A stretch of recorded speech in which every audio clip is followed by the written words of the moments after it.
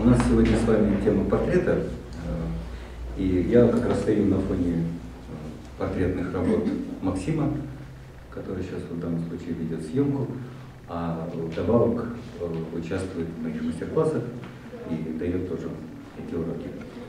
И я хочу показать их как, ну, обратить ваше внимание на, на них как пример того, что человек за считанный год, причем занимаясь своей постоянной профессиональной деятельностью, преподает йогу, вот, умудрился за год дойти до такого уровня.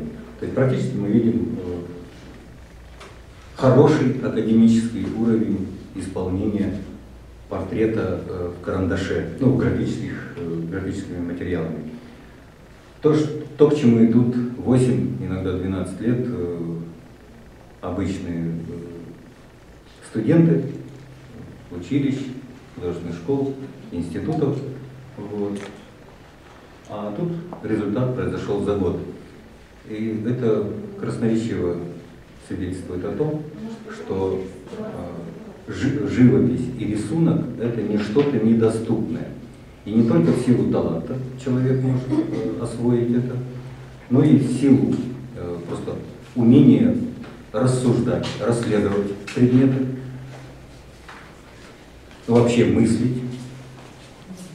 Потому что вот у Максима была потрясающая фраза. Почему ты мне, почему пока э, ты мне не показал, я этого не видел. Ну, скажем, свет тень, разницу в тоне. Одно темнее, другое светлее. Почему пока ты мне не показал, я этого не видел? Это же вещи очевидные. То есть живопись чем хороша? Живопись это вещи очевидные. У художников даже э, фраза такая есть, что натура научит. То есть, а как вот здесь? Ну, пиши, ты пиши, передавай то, что ты видишь. И действительно, э, вот в этом ключе можно развиваться вполне, передавая просто то, что ты видишь. Если у человека есть вкус, если у человека есть рассуждение, то э, используя только эти два эти две способности, а я думаю, что каждый может себе позволить эти способности. Вот. Причем не обязательно, чтобы вкус был какой-то особенный. Это главное вообще проявлять вкус. То есть, вот, я считаю, что это красиво. Красный – это красиво. Хотя считается, что красный – это э, для деревни, село, вот, да, а, э, а не красный – это уже какие-то проявления вкуса. Ничего подобного. Старинная живопись, она вообще красно-коричневая и ничего. Вот, поэтому, если у вас э, есть э, какой-то свой вкус, доверие ему, чего очень часто не хватает даже опытным мастерам, они просто не доверяют своему вкусу. Красиво, некрасиво. А сделали я что красиво. Доверие своему вкусу, его проявление на холсте, ну и внимание, которое требует рассуждения, внимания. Внимание то есть если до этого мы, смотрим, мы знаем о дереве, что это палка, какие-то торчалки, то э, становясь художником, мы начинаем всматриваться на, на ее действительное, на действительное положение вещей в этом дереве, какие веточки, э, веникообразные или веерообразные, то есть ну, как-то различаем предметы. Если до этого мы смотрели на мир и толком ничего, какие облака? Ну, белые, наверное. Конечно, белые такие же все. Но они же не только белые, и все знают, что на закате они совсем не белые. Вот, что на них э, рефлексы, вот даже на ночном городе над, э, над городом, вы заметили, что облака то желтые, то голубые какие-то. То есть вот эти светики э, города дают рефлексы на эти облака. Вот, поэтому,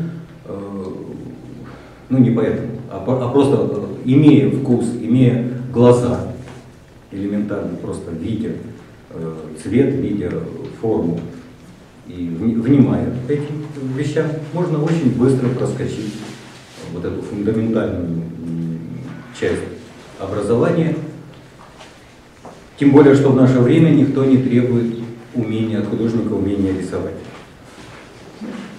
Ну, вы сами это видите на, на актуальных выставках и на вернисажах. Вернисаж, понятно, что это вот те, кто умеет рисовать, их современный зритель отправляет туда. А на выставки и какие-то реальные, э, реальный творческий прогресс, внимание к художникам рождается там, где есть какое-то новаторство. Ну, можно рассуждать, плохо это или хорошо, это есть, и, и э, в каком-то, может быть, аспекте, в каких-то проявлениях это не очень хорошо, но в итоге как-то время все выстраивает на, на свои места, и оказывается, что вот новаторство 20 века столько принесло интересного э, в живопись. Так же, как в 19 веке импрессионисты вдруг взорвали представление о живописи. Вот. Э, так, в 20 веке и, и, на, и нам сегодня вообще повезло. То есть мы можем брать любую формулу, э, любое из, изобретение, либо к нему пристраиваться, либо основываясь на нем, быстренько искать свои какие-то э, пристра... проявлять свои пристрастия в изобразительном творчестве. Ну вот, кстати, что касается импрессионистов, то вы, наверное, знаете, что эта когорта импрессионистов пополнялась не только за счет профессиональных художников, а вот, но и за счет людей с улицы, сказать, просто увлеченных идеей, новаторской идеей импрессионистов. Причем они становились импрессионистами в считанные годы. Вот, и, и, и оставили прекрасный след в истории. Вот, а в 20 веке и вовсе все расцвело новаторством. Я про новаторство говорил в том контексте, что кажется, что для того, чтобы взяться за живопись, нужно, э, нужно научиться рисовать. Не обязательно. То есть главное проявлять вкус, совершать поступок каждый раз, каждая картина, ну как, как э, влюбиться, влюбиться в человека, в женщину, в мужчину, у женщин наоборот, в мужчину. Вот. Это что же поступок, решиться на этот поступок? Вот, в живописи можно сказать, это, вообще, конечно, живопись это любовница. И для тех, для кого она не любовница, это, это скучный, изнурительный труд. Очень много профессионалов именно э, так и живут.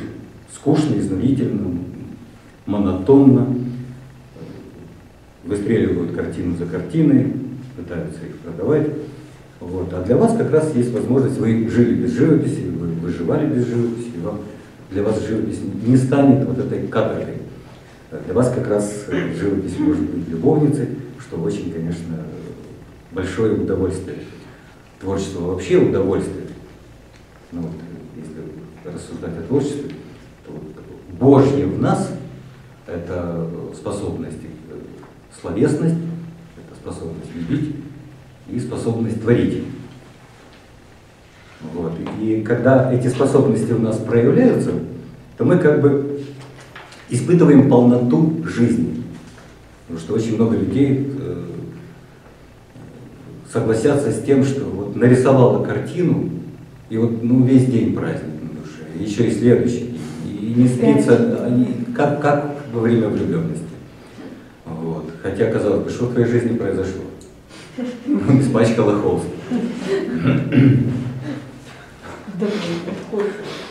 Я понимаю, когда ты влюбился в человека, да, но уже действительно может что-то произойти. И здесь, собственно, ничего особенного не произошло. Однако вот сам факт творчества... Произошло, это... потому что ты понимаешь, что ты не можешь, и вдруг так получилось. Неправда, Нет, это ну, такая же влюбленность. Да, да, мы, конечно, мы, конечно, здесь... понимаем, но, но все-таки там надежда на великое будущее, хотя и здесь тоже. В общем, все Вот. А портрет, он э, как бы э, вершина умения художника. То есть вот если художник э, умеет портрет, то ну, это вот высшая э, степень э, ремесленного искусства. А если он умеет еще и характер передавать, то это высшая степень э, проявления художника. Ну, есть еще иконопись, может быть, там еще выше. Вот. Но к портрету в вашем случае, вот в случае новичка, нужно, конечно, грамотно подойти. Потому что, вот скажем, импрессионизм очень легкая, это забава, совершеннейшая забава в живописи. То есть там характер мазка сам решает вопросы. То есть освоил правильный мазок, там нет точных очертаний, то есть проблемы рисунка, э, скажем, пейзажной живописи, а импрессионизм, практически нет. А в портрете проблемы рисунка есть. И от них деться некуда, и надо э, ну хотя бы какие-то малые возможности э, рисовальщика приобрести. Но опять же, можно двинуться по классическому академическому пути и опустить руки, это очень долго, а у меня времени на это нет, и поэтому портрет не мой. Но, как правило, вот и Маркс это свидетельствует об этом, что человек рассудительный, человек интеллектуально ну, насыщенный, конечно, очень быстро может расследовать, если он проявил внимание. Взрослому человеку, если он проявил внимание, в отличие от ребенка, который учится, как бы, как бы из-под палки. Трудно это внимание проявить, а взрослому человеку, если он увлекся, легко проявить. Поэтому, вот как Максим, увлек, увлекшись живописью и рисунком в частности, быстро достиг вот таких э, результатов, и, кстати, Микеланджело, у тебя очень да, хорошо а получалось. вчера меня А просто заклинило. Да, вот это произошло, это появился, ну я не знаю. Во-первых, меня, честно говоря, сбило, потому что когда я писала балерину, э, техника была одна. И когда я выбрала танцовщицу, я думала, что будет схожесть, ну как бы я приблизительно уже знаю. А здесь я вдруг попадаю в то, что а делается совершенно не так. Вообще не так. Ну вот опять же, ключи, И вот это ключи меня к решению выбило. задач. Да, то Кто есть, были одни ключи, да, то есть я поняла, наоборот, это хорошо. То есть я узнала и вскрылись некоторые проблемы. Да, вот они именно там не вскрылись, а вскрылись здесь. Так, э, Макс, примерно через пять минут начнется или уже Уже, началось? А, уже началось, да? Так интересно говорили, вот бы это было. Вот, что касается портрета, есть э, одна вам подсказка, можете даже для себя ее пометить, потому что эту подсказку я взял из иконописи. В светской живописи вряд ли я нигде не встречал такой мысли, э, чтобы буквально выучить несколько ракурсов, несколько форм освещенности портрета. Я вам сейчас покажу два варианта. Это самые распространенные.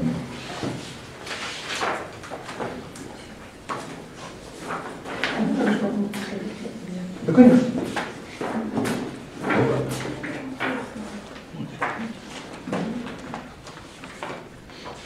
Вот. Вот это два самых распространенных э, вида освещенности лица в портрете. Этот мотив а-ля Джаконда, то есть Джаконда освещена также. Вот. А этот вы тоже не раз встречали в музеях и прочее.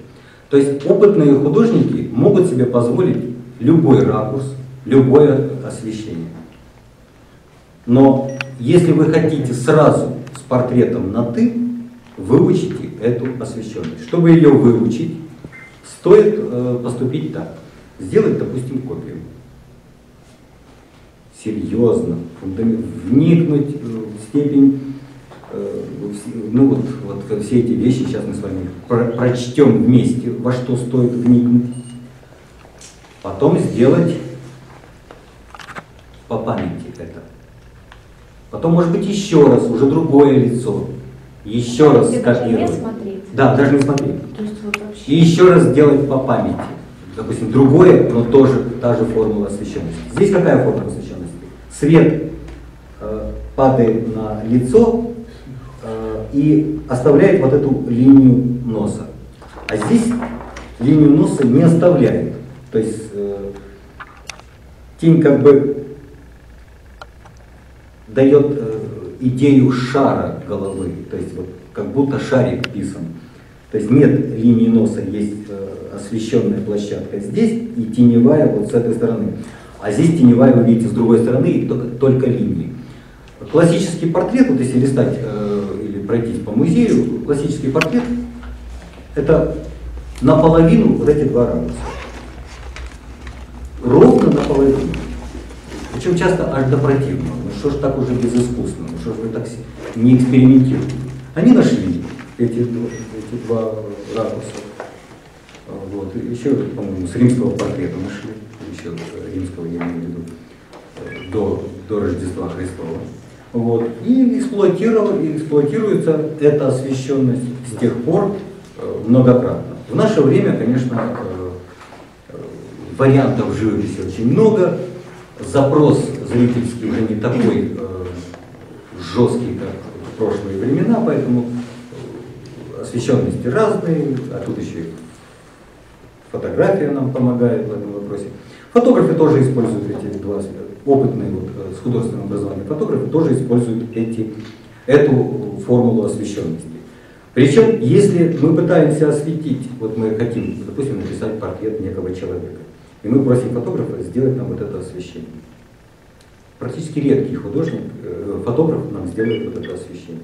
Мы еще должны знать формулу. То есть оно будет приблизительно, приблизительно так, это даже есть пару фотографий, приблизительно так, но э, вот эти вот старые мастера это унифицировали до вот такой или вот такой формулы. Это а-ля Джаконда. То есть это классика освещенности. От того, как мы осветили портрет, очень много зависит. И выявление формы, и э, подача, вкусная подача черт лица. Вот, поэтому буквально сделать копию. Я взял первые попавшиеся, что вот валялось дома. Конечно, можно было взять Джаконду, как и более красноречивый пример, но типа Джаконду мы и так все знаем. Вот. Поэтому сделали копию. Понятно, что делая копию, надо знать, что, что там расследовать. Вот мы сейчас будем. А, сделали копию, потом сделали по памяти. Этот прием используется в академиях как очень важный. Причем не всегда ставят акцент на это. Вот если в светской живописи, конечно, полно всяких э, ракурсов, то, скажем, в натуралистичной, натуралистичной а академическая живопись э, в иконописи, я не имею в виду аскетическую живопись а-ля Андрей Рублев и Дионисий, а имею в виду именно э, натуралистичную живопись в иконописи. Там вообще буквально два ракурса и два, две освещенности. Есть фаз, ну в данном случае фаз не кристалл. Фаз для вас будет сложновато. Не торопитесь работать э, с фасом, потому что будут проблемы. Поэтому если вы беретесь за портретом любимого человека, знакомого, заказал вам кто-то, берете эти формулы, они в каждом альбоме по живописи полно, в интернете полно, то есть вся классическая живопись, эти вот эти два ракурса. И стараетесь сделать подбор, вам, скажем, дали фотографии. Или вы можете сделать э, э, фотографии этого человека, которого планируете написать. Вы берете и делаете вот это освещение. И, может быть, прежде чем написать, стоит э, сделать вот этот вот э, шаг, расследование. Потому что черты лица худо-бедно можно вытянуть. Ну, есть еще более простой способ. Берете фотографию, человека, которого хотите написать, кидаете на холст э, в печати, то есть есть у них холсты, есть печать, и просто наполняете краской. То есть есть и такой вариант. Но не так все, не так все э, не умно грамотно наполнить краской вот эту печать. То есть черты лица у вас все есть. Вам остается не портить эти черты, не сбивать их. Но для того, чтобы и эту задачу выполнить, вам тоже нужно пройти вот это расследование. Вот. Хотя это тоже путь. В Москве редкий художник пишет э, сейчас с натуры или, ну, люди уже экономят время и зарабатывают деньги. Поэтому редко с натуры, в основном с фотоматериала. И чаще, если портрет заказной, а часто портрет заказной обладает таким свойством. Ну, люди со скромным вкусом заказывают у художника портрет. Главное, чтобы было похоже. Вот. Хотите похоже? Фотографию на холст и раскрасил. Ну, раскрасить тоже надо уметь. Хотя это, конечно, очень удобно. Но надо уметь. Ну, сейчас немножко получится. Вот. Есть еще понятие романтического портрета. То есть вот, я сейчас покажу несколько вариантов. Здесь вы, конечно, можете себя проявить в полной мере. То есть, если в академическом портрете вы, конечно, будете мучиться, то, скажем, вот в такого рода портретиках можно не мучиться. Многие из вас шариковой ручкой в тетрадке вот такое могут нарисовать. Немножко раскраски, перед нами картина, причем очень интересная. То есть немного линейного рисунка, да? То есть масло, можно масло прекрасно кинуть э, на холст до того, как вы нарисовали карандашиком или после того. Вот. Очень удобная для вас живопись. Очень модная, эффектная, крупным мазком, э, мозаично. Многие вот из учеников, которые берутся за такие задачи, справляются. Ну, там чуть-чуть кривит носик, там чуть-чуть кривит глазик, но звучит. Оно звучит. А потуги не звучат. А это звучит. Это густой мазок, это мастихин и мозаичная укладка. И оно звучит. Даже у неумехи. Просто звучит. Даже да, вот эта искривленность. Ну, Модельян же сознательно кривит. Нам же нравится. Если мы умеем Вернее, если мы так не умеем, как Модельяне, это замечательно. Ну, эта графиня, которая мне портрет заказала, ей же не понравилось. Беда. Зато весь мир любуется. А графиня что, ей же нужно было кинуть, Красавица. кинуть на, Да. на холст ее Да. Фото. фото, да, и раскрасить чуть-чуть. Вот. вот такие есть портретные идеи, когда большое лицо, это может быть холст, такого размера, и там будет большое лицо. И буквально вот такими ляпками цветовыми расследовать лицо, любоваться лицом, тоже как одна из э, форм э, живописи в наше время, и, и она вам тоже доступна. Она, она, конечно, опять же, это, вот если вы обратите внимание, вот эта формула освещенности. Свет-тень очень, очень близкий. А есть всякие заморочки, да? То есть писал, писал, писал, писал, смотришь, недополучается. За, завалил буквально густы, густыми мазочками то, что не получалось, глядишь, будет даже красиво. А еще можно пустить потеки, потеки какие-нибудь. Прям вот, э, можно, можно даже из пульверизатора этого, ну, пшикалки этот, на, на- да, скажи да, напшикали воды на, на холст, прямо вот сюда. вот. Напшикали, напшикали, она потекла, стала создавать канавки. Беленькие канавки, холст стал появляться в тех местах. Было очень красиво. То есть то, что не получилось, допустим, внятно не получилось, можно забросать всякой, э, всякими экспериментами, и оно может прозвучать. То есть совсем не значит, что если вы работу, у вас не, не получается вот это, то надо уже отчаяться. Вот это делали, делали, не получается. Забросали всякими э, экспериментами. За дождем. Вот, ну вот опять такая идея. Это звучит.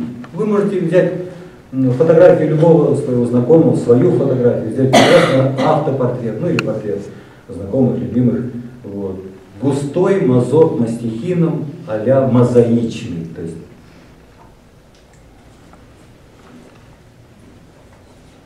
вот такие вот веселости. Посмотрите, тут портретов совсем чуть-чуть. Цветовые пятна, цветовые пятна и чуть-чуть портрета. Буквально очечки глазных яблок, э, глазных падин, там тенечка под носиком, тенечка под губочками, и вот такая красота. И остальное пятна, пятна, пятна. Ну да, где-то там может угадаться что-то. То есть это для вас, это ваша живопись. То есть это то, что вы можете себе позволить, хотя это делал мощный профессионал. Но это то, что вы можете себе позволить. А вот это э, можете, конечно, но это уже вот академические варианты, когда вы прочтете вот то, там тоже, видите, вот эта вот линия носика есть. Так же, как на той фотографии.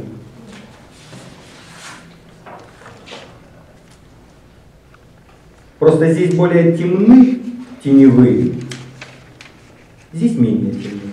Но схема ровно та же. Это совсем классика, это уже современные прочтения этой формулы. Просто фон повлиял, там же очень контрастный фон классика, темный, поэтому, конечно, Ну, темный фон, да. он ложился и Ну, ну и почему? Классика бывает не, только. Ну вот это вот, конечно, у меня много раз писали. И часто с таким успехом. А такое удовлетворение получает это. Еще и свои черты можно там у одной жутки полнее, у другой менее полные.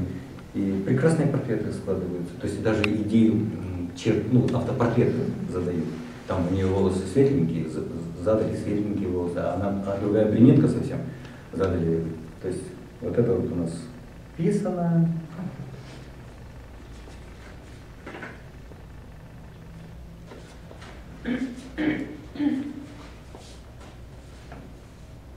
Ну вот опять же та же формула, только чуть-чуть больше э, разворот головы, но сейчас еще раз покажу.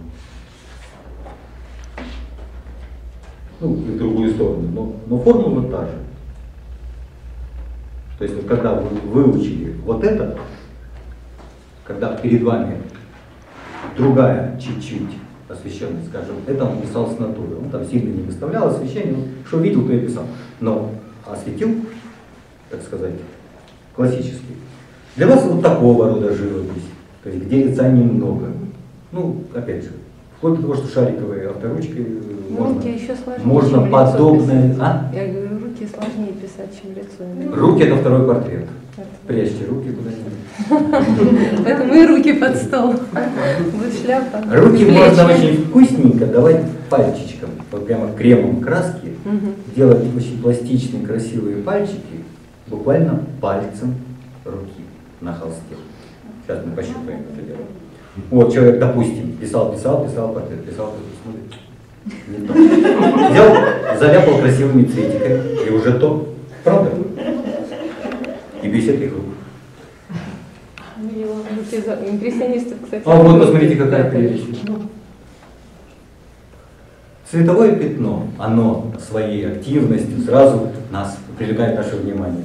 Плюс немножко агрессивного в районе лица, ну как бы такого напряжения, чтобы мы обратили внимание на что-нибудь хоть, кроме пятна. Ну такой просто розовенький, просто агрессивные вот эти вот пятна и красота. То есть это наше, это для нас с вами, то есть для, для новичков. Вот такие романтические идеи тоже для нас с вами. То есть все приблизительно, романтично, мутненько.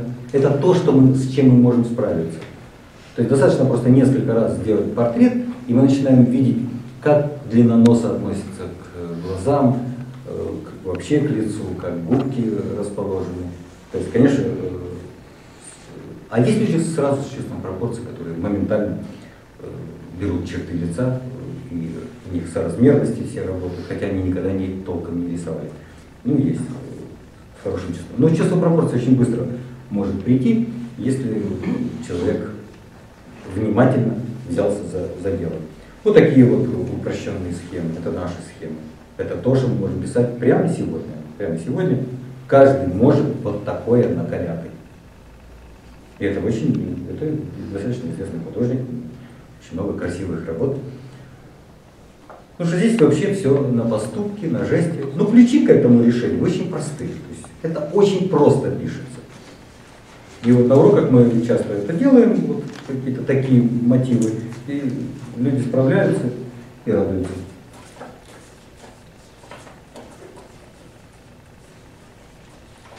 Ну так примерно я э, показал. Значит, есть тема романтического портрета, где нет конкретных черт лица, которые для вас вполне доступны. То есть поменьше делайте портрет. И, причем это же не значит, что, а кому нужен просто портрет. Я сейчас сначала расскажу, э, вот поскольку я тут э, говорил о том, что можно фотографию бросить на холст э, печати в этом студиях, в фотостудиях, вот, то э, у меня был э, и не один уже такой случай. В данном случае э, у меня был ученик, генерал. Вот. Как-то ему заказали друзья генералы художник. да, портрет. Ну, он вышел на пенсию, время расставку, да, и э, вовсю стал писать. У него, кстати, прекрасно продаются картины. Он с выставками ездит по заграницам. Ну, как-то ему заказали портрет, причем не один. И он в панике, а он в другом городе, он в Харькове. И он в панике такой говорит, что мне делать, мне же нужна твоя помощь. Я говорю, ну давай приезжай. Он говорит, ну я сейчас не могу, мне одно писать нужно, срочно написать. Я говорю, тогда я в дистанционном режиме стал управлять процессом. Говорю, значит, э, закажи подрамник такого-то размера, ну, мне скинул там фо- фотографии, с- которых нужно было написать портрет. Я говорю, брось на холст вот этот э, фотопечать в салоне, брось это изображение, он сходил, сделал. Теперь говорю, покрой э, лаком, есть акриловые лаки, в том числе вот э, лаки, вот такие вот вкусненькие лаки для яхт, какие-то яхтовые. Можно просто акриловым. Покрой акриловым лаком то, что, то, что тебе бросили, да, то, что тебе бросили на холст. Почему? Для того, чтобы у них тот холст, который, на, на который они бросают изображение, он сильно тянет в себя э, вещество, краски, то есть пигменты. Он, э, в итоге масло даже втягивает, не столько даже пигмент, масло втягивает, и становится сухое, вот ты как пудрой начинаешь писать. То есть если вы сталкивались с этим, то знаете. Он покрыл этим лаком два раза, и я говорю, То есть грунтовать просто- не нужно, получается, Да, да, да, да. по лаку идет. Да, да. То есть лак дал этот Как грунтовка. грунтованный слой, да. Ну, он прозрачный совершенно, поэтому высох, все, высох тут же за 20 минут. И он, наполняя красочкой, а мы с ним уже работали, поэтому как, какой-то опыт в наполнении краской, получились идеальные портреты. Он мне потом их показывал, ну просто идеальный портрет. То есть его достаточно наивное отношение к живописи сделало эти портреты безупречными. Безупречными в смысле эмоционально интересными, живыми такими. Вот. Хотя это был совершенно неопытный портретист.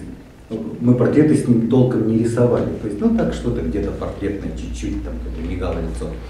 А тут он высказался как портретист, внятный и убедительный.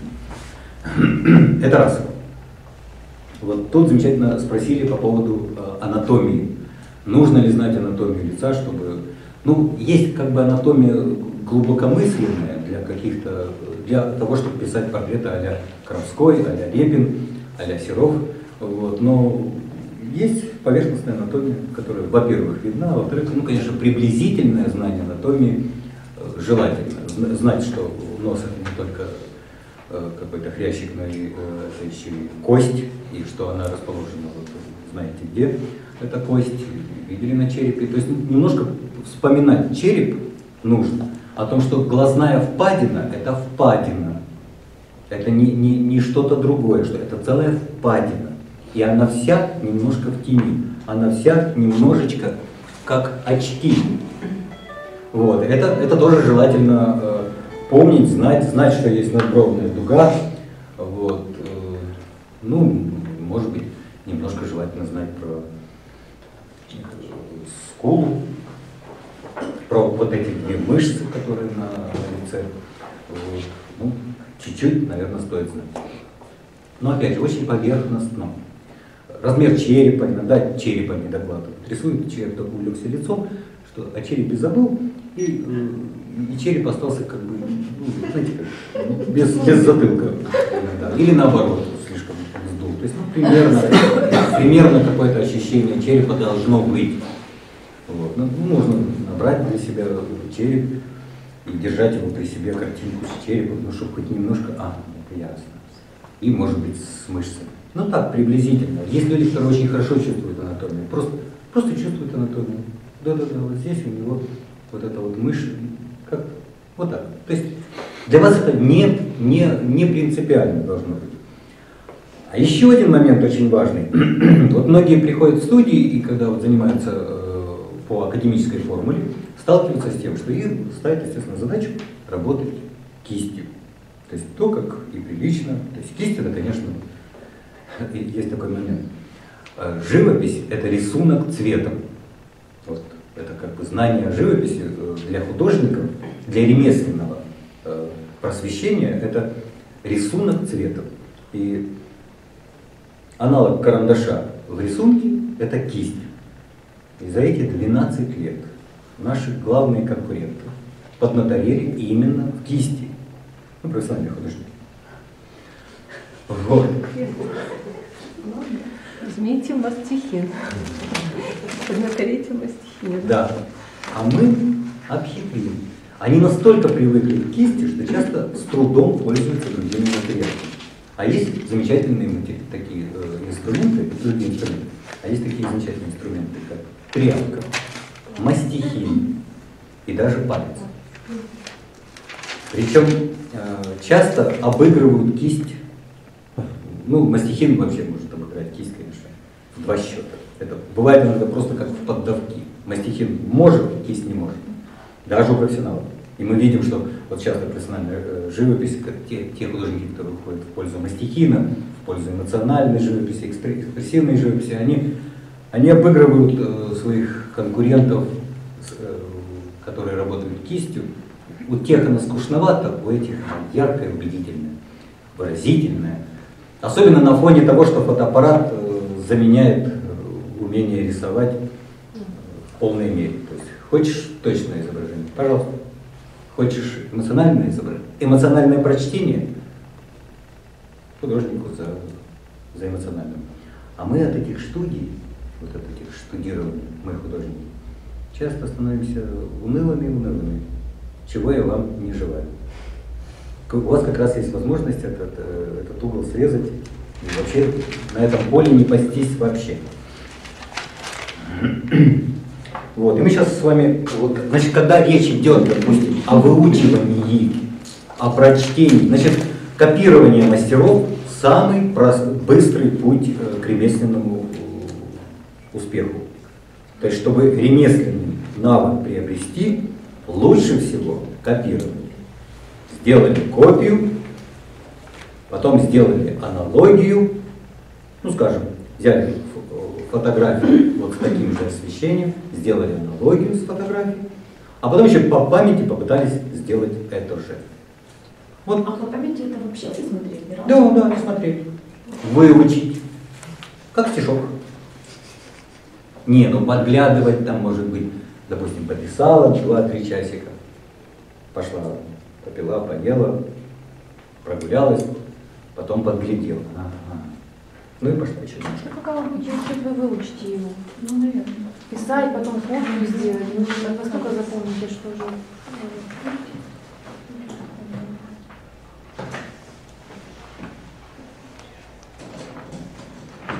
Все нормальные люди видели вот такое отношение к рисунку.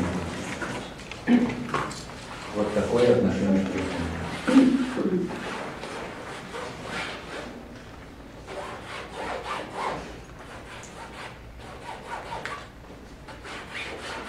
Правда?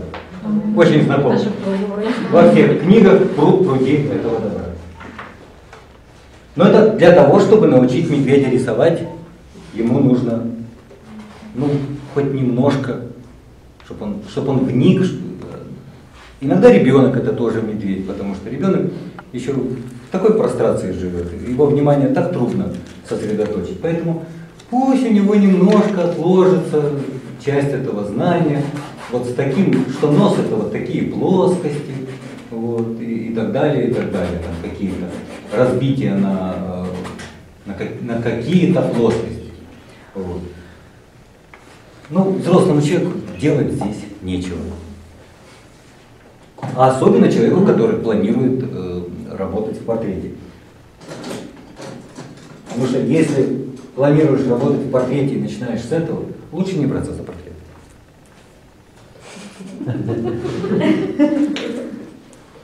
Вот. Значит, смотрите, у нас всегда есть проблема э, фонового пятна. Иногда даже э, очень серьезная проблема. Фоновое пятно должно быть живеньким, а не просто выкрашенным. Вот если мы, если мы делаем, допустим, копию, но мы видим темно, Ну, когда-то оно не было таким темным, где-то были, было чуть светлее. А может быть и было так же темно, а в другом случае не было так, э, так темно, где-то вот, ну, в фоновом пятне могли вот эти вот золотистости быть и прочее. Вот. Но в любом случае фоновое пятно нужно тоже уметь э, набрать вкусно, интересно набрать. И для этого тоже есть э, интересные приемы, особенно в наше время. Если раньше только кистью, только деликатно, только штриховательно, как-то так культурненько все это было, очень культурненько. Вот. Но к этой культуре так просто не придешь, почем зря.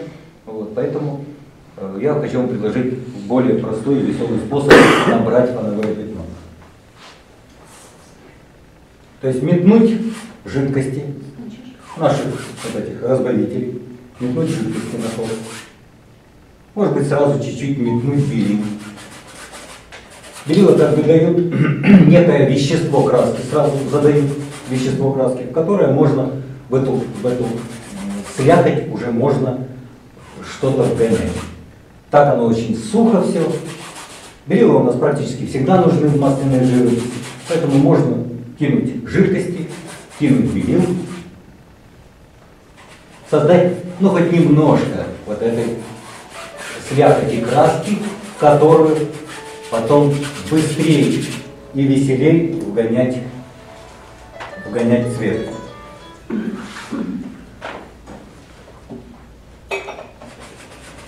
То есть вы видите, достаточно мокрая, слякотная среда. Я это слово слякоть еще раз употребляю, потому что, ну, несколько раз произношу, чтобы было понятно, что это по фактуре. По фактуре это пока слякоть. Есть три основных цвета у нас. э, Ну, я сейчас по, по, по цветам не буду особенно э, рассказывать, потому что есть для этого другие семинары. Вот. А, Ну, у нас есть три основных цвета, э, как бы фундаментальных цвета. Розовые, желтые, голубые. То есть это самый главный набор в живописи. Да? То есть, собственно, из этих цветов практически все и состоит. Вот. Ну, рекомендую прибавить на палитру к этому э, розовый, желтый, э, голубой, прибавить еще коричневый. Ну, потому что без коричневого бывает трудновато. И вот мы сейчас просто избавимся от белого холста, создавая фоновое пятно. Вот такую даже разноцветицу можно набросать на холст. Просто разноцветицу.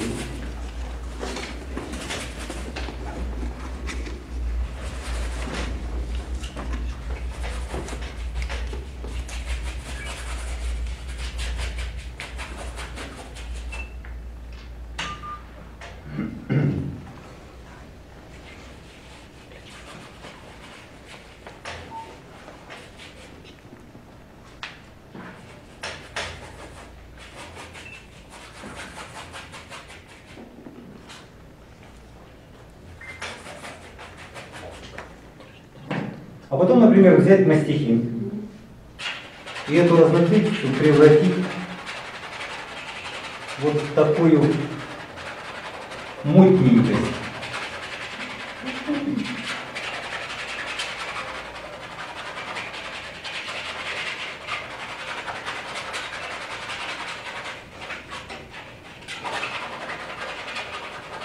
То есть краска достаточно слякотная на холсте.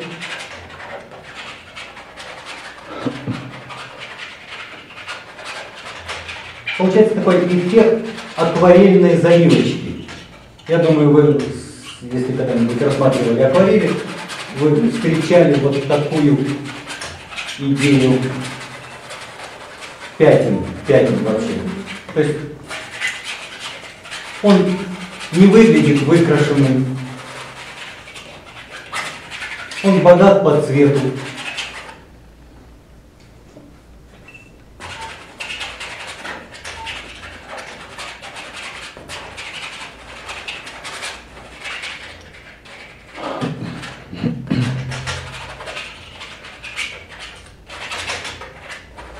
То есть это не крашеное что-то, это некое пространство, мятое пространство, в котором можно уже что-то было бы угадывать.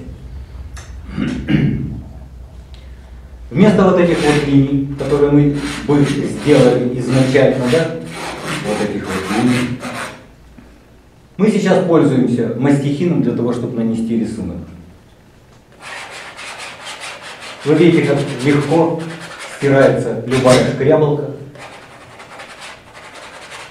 И это очень удобно.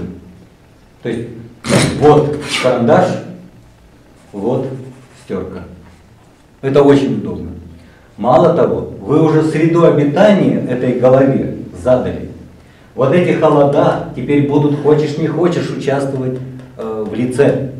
Потому что если мы возьмем и раскрасим отдельно фон и отдельно лицо, холодные э, рефлексы, которые, которыми наполнено лицо, э, не, не смогут так легко и естественно попасть на изображаемое лицо. А так мы вынудили это лицо иметь вот эти холодные, оранжевенькое лицо, иметь вот эти холодные рефлексы.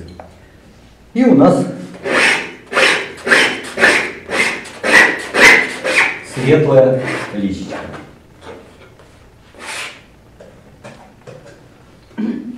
У нас линия подбородочка.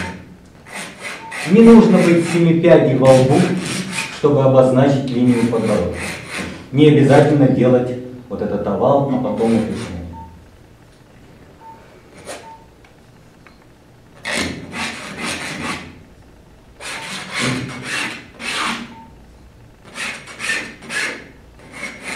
Вы видите, я не самым острием работаю, а как бы лезвием.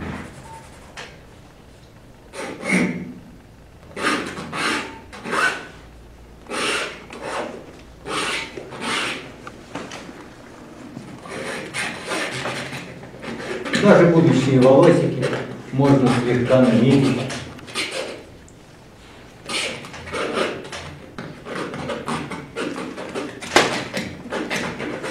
Чтобы еще прежде, чем я буду набрасывать нужную краску, уже что-то для себя видеть. Как голова в пространство села, вот.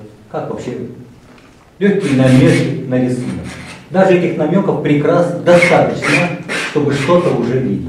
Да, и вы видите, что намек на, на голову с прической уже есть.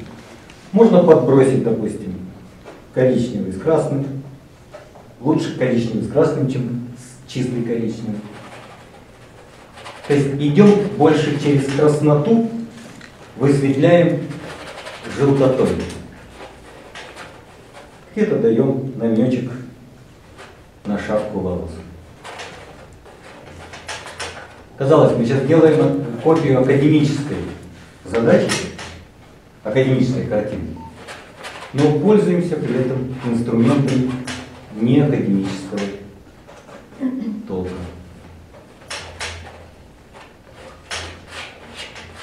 Тоже я не делаю слишком черно. Да? То есть достаточно прозрачная тональность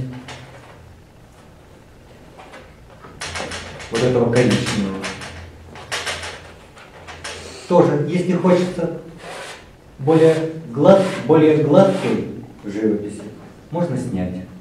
То есть немножко кинули, немножко сняли краску. Или наоборот, даже где-то чуть-чуть усилить, подшпатлевать, может быть, даже красочкой. Создать э, вот эти вот выкрутасы. Я покажу еще раз, что нарисуем. Вот эти выкрутасы немножко посоздавать.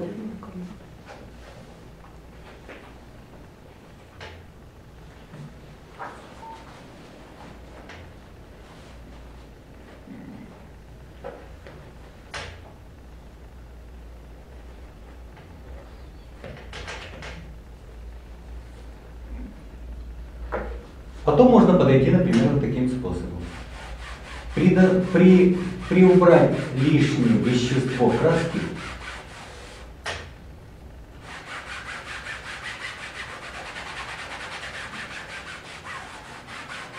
с шеи и с головы. Представьте себе, что у вас был там э, предварительный рисунок, вы уже на это пойти не сможете. Вы вынуждены будете раскрашивать всю дорогу. то, что вы нарисовали. Ну как, жалко. Вы же строили, строили эти черты лица. Но опять же, исходим из, из того, что есть вещи очевидные, и совсем не обязательно чувствовать себя медведем перед хвостом. Медведем, который тоже может научиться рисовать. Не чувствовать себя этим медведем. Можно взять, например, тряпку, фрагмент, небольшую часть этой тряпки взять, сделать некоторую такую, такой тампонист, ну, фигушку, одним словом. Взять белильцев, розовильцев, желтильцев,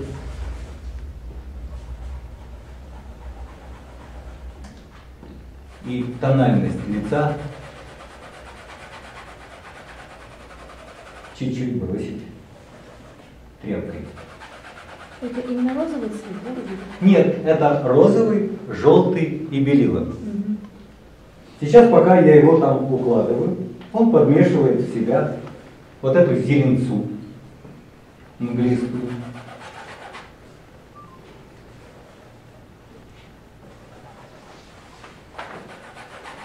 Коричневый где-то сбоку припеку, который подхватывает. Что меня очень устраивает, то есть у меня появляются холода, холодные оттеночки в этом будущем оранжеватом личике. Обратите внимание, как легко производится набор краски тряпкой. Мало того, тряпка не забрасывает на холст слишком много краски. Что очень важно, поскольку нам предстоит уточнять рисунок. И если краски будет много, будет очень трудно уточнять этот рисунок. Когда краски разумное число, это можно осязать, вот подойти потом, что такое разумное количество краски на холсте. И иметь в виду.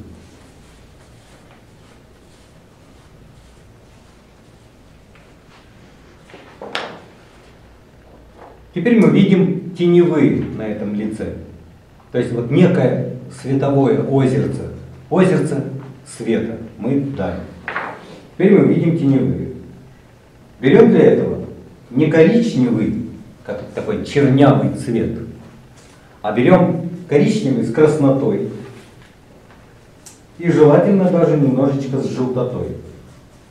То есть некоторый янтарненький цвет берем для теневых. И до самого последнего момента стараемся эту янтарность теневых, темности, вот этой каркаса темного на лице удерживать. Не уходить в чернявость. Будет очень невкусно, если оно будет чернить. Это как сангина получается, да? Цвет. Ну да, да, да, да. Ну, чуть, чуть разнообразнее, чем сангина, но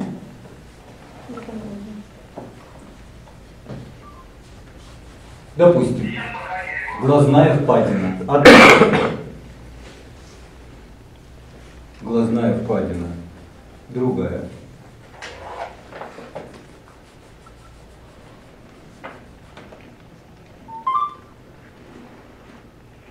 Тень, тенечка под носиком.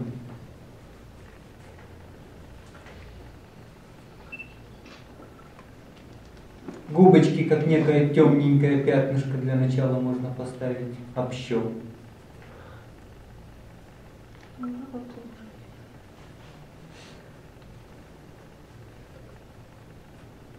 Мера краски сохраняется такой, что с ней еще можно работать. Можно добавлять краску, а можно убавлять, промакивая. Промакивая. То есть для моделирования сейчас все очень приспособлено, все очень удобно. Вот я беру вот здесь немножко краску, подвигаю, допустим, глазную, типа вот эту темноту глазной впадины. Беру вот здесь цвет лобика и прогоняю волосики туда.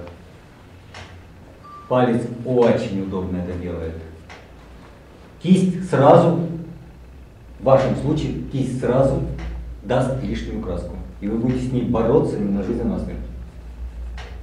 Чаще на смерть. Портреты.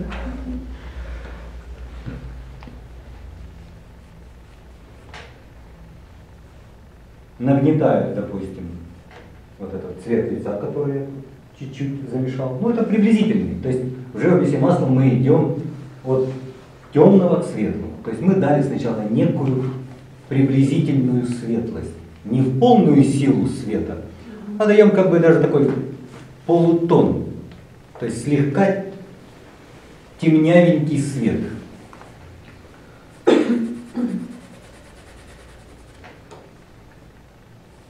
Ну вот, прогнали фоновое пятно, фоновую зелень, навязали туда тональность лица.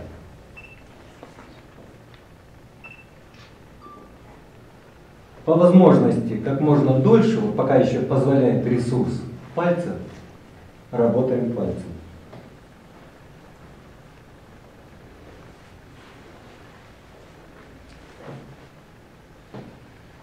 Вы видите, я начал не с рыбки глаза, да? Обычно щ- что делают? Рыбку глазом. Я начал с креветок зрачков. Они уже оттуда смотрят? Немножко смотрят. То есть, гоняя их туда или туда, я могу еще более выразительными сделать э, идею взгляда. То есть оно и в этом положении, и в таком состоянии видно направление взгляда. Причем зрачки, если вы рисуете глаза голубые, это не значит, что вы сейчас голубой взяли туда. Ни в коем случае. Пока держимся вот этих янтарностей. Легенький намечечек на бровочку. Может быть легенький намечечек. Пока мы держимся мутности, пока мы не дали жесткого рисунка, мы еще в порядке. Как только жесткий рисунок появится, особенно если он будет не точен, начнется ломка. Как у наркомана. Будем гонять этот рисунок, поправлять. И вы видите, они застревают где-то на каком-то одном пятачке. То есть я работаю сразу с целым лицом. То есть никакого начинания с глаза, или там с ротика, или с носика, сразу работаем со всем лицом. То есть овал лица, волосы кинули и, и начинаем чуть-чуть уточнять.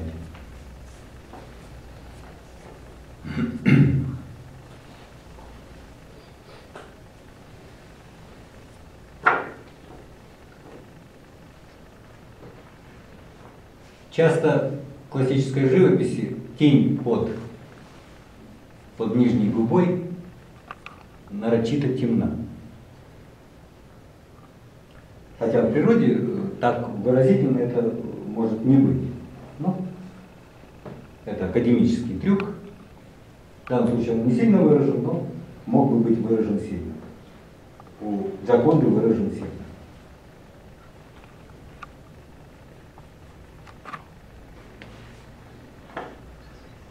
Что дает этот темная стабильная? Для чего это академия? Объемом. Это работа ради объема. Вот, вот теневая. Вот. под губой. Губы как бы нависают над вот этой ямочкой. Вот эту ямочку мы обозначаем. Хотя она не всегда так сильно выражена. Но лучше пусть будет пока выражена.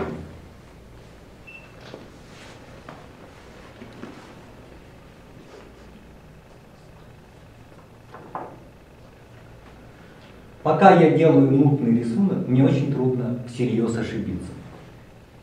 Но рано или поздно приходит время Ошибок. рис- рисовать уже более точно.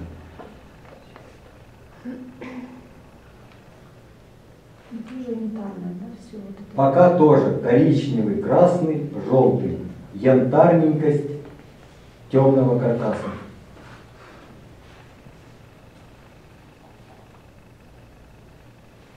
Допустим, ноздричка.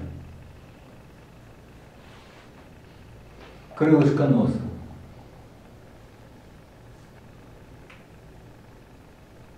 Вот эта линейка носа. Вы видите, эту линию я пока очень активно не делал. Ну, придется все-таки немножечко ее обозначить.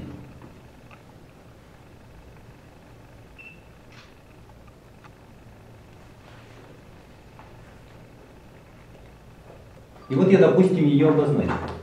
Я ее сразу же постараюсь смягчить, чтобы она своей жесткостью не, не напрягала весь рисунок.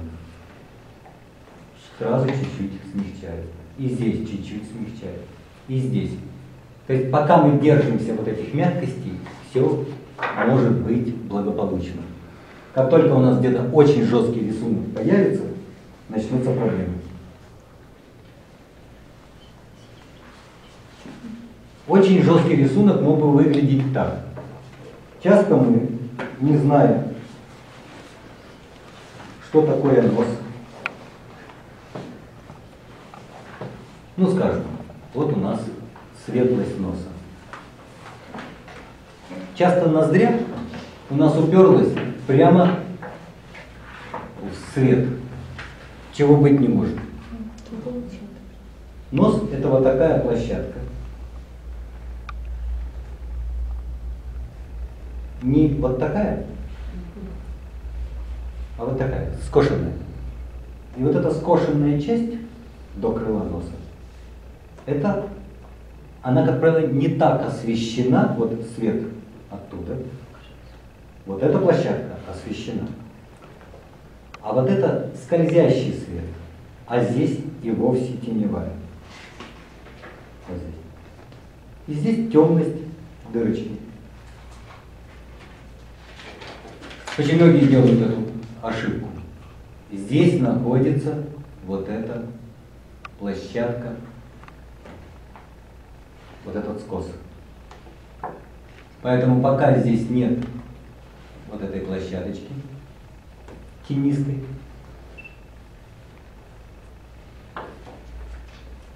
не может появиться ноздря. Она в рамках вот этой теневой. Тогда все в порядке.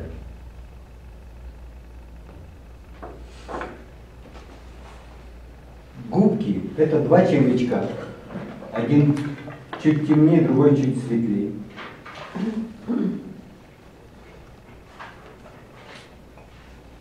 Часто хочется сразу дать силуэт губ. Губы очень коварная штука. Поэтому дайте сначала силуэт. Не силуэт, а червячок одной губы. Вопрос только в размерах. Чуть больше, чуть меньше. Силуэт одной губочки, чуть светлее силуэт другой губочки. И пальчичкам можно все это тоже держать в неком тихом состоянии. А вот щель между губами, и на классических портретах вы всегда это увидите, щель между губами выражена темнотой. Не вот эта линия и вот это выражена темнотой, а вот это.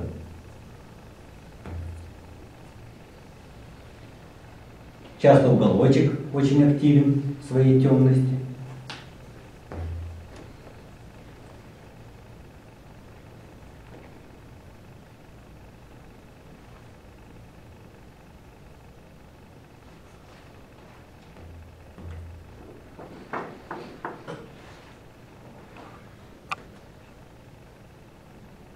Чуть-чуть, может быть.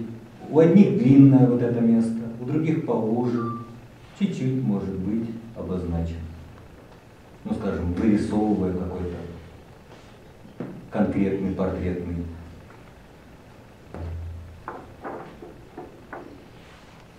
Глазки у нас тоже берем красно-коричневое состояние цвета, янтарное состояние облокачиваемся где-нибудь вот в таких местах, которые не опасны, которые мы потом легко восстановим. То есть щека у нас пока как плацдарм для работы.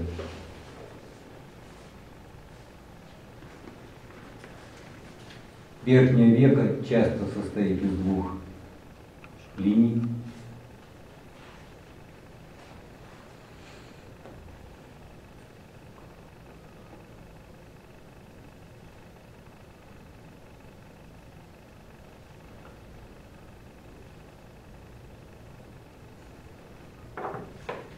То есть пока в рабочем порядке из двух линий, причем не жестких, вы видите, немножко мутноватых.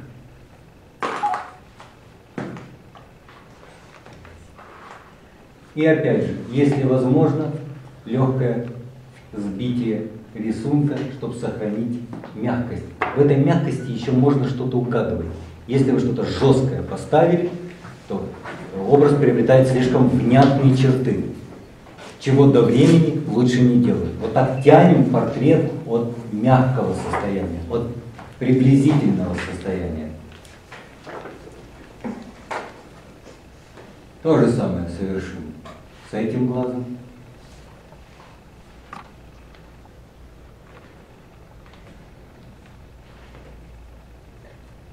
И тоже постараемся чуть-чуть смягчить.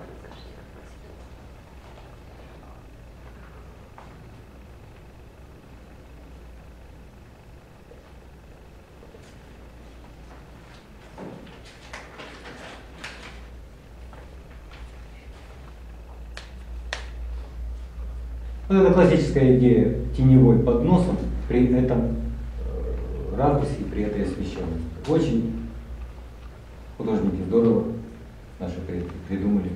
Вот. И причем она, видите, она не черная, она как бы не да темная.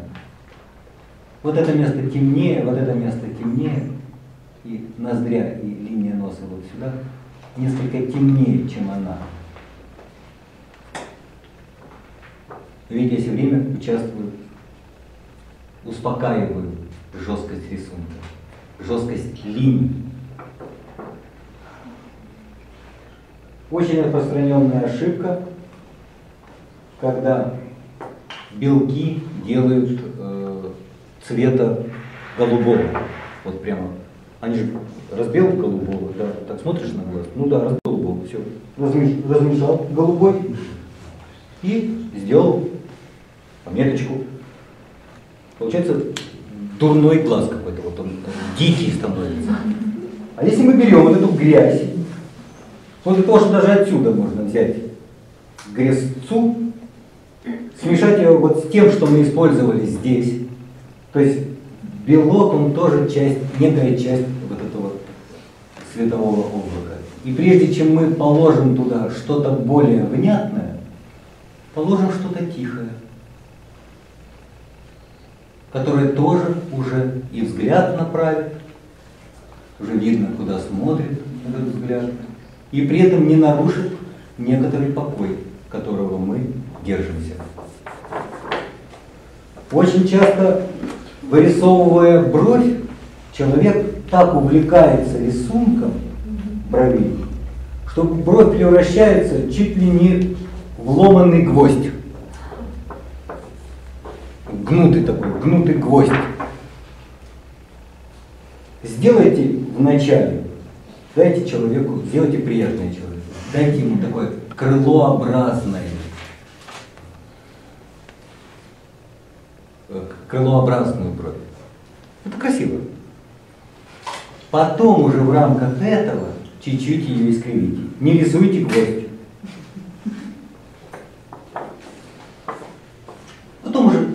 Чуть увидели, что там некоторые изломчик. Чуть-чуть показали. Очень любят люди, неопытные портретисты, даже среди, вот скажем, пейзажисту заказали портрет. Он взялся, потому что это заказ, это деньги. Он видит, как и все мы видим, какую-то складочку здесь. И он ее, конечно же, вот так темно дает. Есть и другой путь. Если мы хотим сделать красивый, приятный портрет, а портрет должен быть комплементарен по, по принципу. Вот что честнее, сказать человеку как бы всю правду сказать. Ну вот высказать все, что ты о нем плохое думаешь, да, высказать правду о человеке. Ну что он злой, э, завистливый Подчеркнуть и прочее, прочее. Вроде бы, вроде как правда, потому что в принципе все мы, можно так сказать. А, а если сказать, что какой вы симпатичный человек, да? Вот это как раз на самом деле правда о человеке. И портрет должен быть комплементарен. Если он чернит человека, то, конечно, ну, иногда мы черним портретом образ для того, чтобы показать эмоцию какую-то, э, страсть, дикость, э, вот. Но если мы рисуем портрет э, некого знакомого, то, ну, конечно, лучше, чтобы он был комплементарен. Потому что правда о человеке как раз э, его хороших свойствах, а не, а не в дурных. Можно, когда мы вот какие-то уже... А, ну про белки я закончу. Хотя мы точку в белках еще не можем поставить, но я э, чуть-чуть продолжу вот в этом ключе. Потом, чуть-чуть усветляя не периферию, не все вот это, не весь этот треугольник, а сюда, ближе к выпуклому месту. Это же более выпуклое место, оно более выдается от, из, это, из этой э, ямки глазной впадины. Вот сюда добавляя светик, может быть тоже ближе к зрачку, который тоже это место более выпуклое, чуть-чуть добавляя светик. И в данном случае блечочек делает глазик немножко мокреньким, жирненьким от этого. Вот как бы потихонечку вот так высветляем белок, чтобы он не сразу крикнул.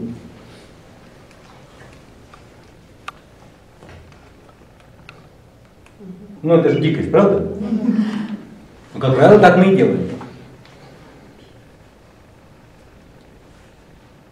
То есть от этого бережемся, бережемся, удерживаем тишину, вот эту тишину тональностей. Тихонько-тихонько выходим из, из этого состояния. То есть наращивая э, свет. Ну вот опять можно вернуться. Вы видите, без кисти совсем невозможно. То есть кисть только что пригодилась.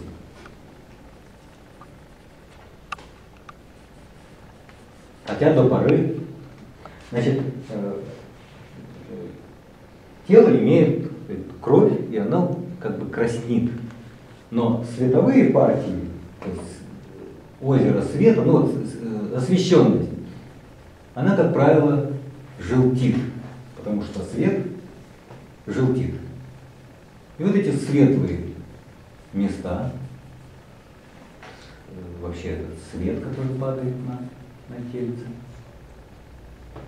мы начинаем набирать через то же самое в пользу желтого А, и, и белил. Это То есть мы продолжаем этот красное, же, да, этот же замес, только теперь чуть больше желтого и чуть больше белил.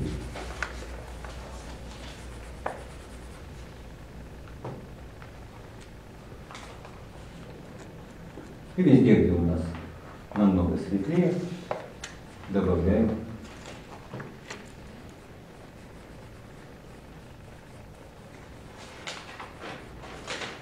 Опять же, палец очень хорошо распределяет красочку на холсте. Меру задает. Можно и промокнуть лишнюю краску. То есть, если перегрузил, прям присобрать. Ну, женщины со своим лицом умеют работать, им вообще здесь все должно быть понятно и удобно. Тоже брови гвоздиком делаешь.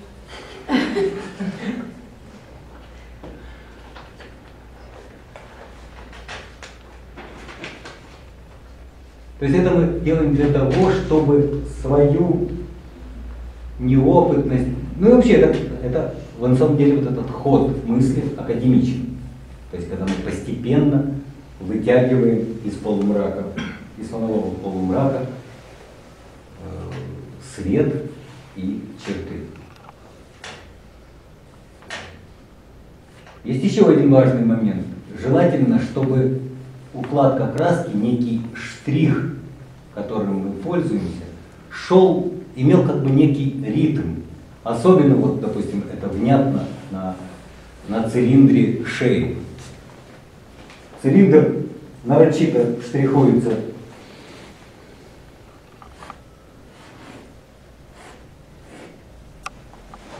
штрихуется по форме, чтобы показать его округлость. Также и шея, также и э, вообще Это все, лицо. все лицо это шар, но немножко и цилиндр. Поэтому некий ритм штриха пусть будет. Ну, опять же, э, вариантов исполнения портрета может быть много. В данном случае мы говорим о таком академическом э, прочтении, прочтении академического портрета и умение, э, умное пользование веществом краски.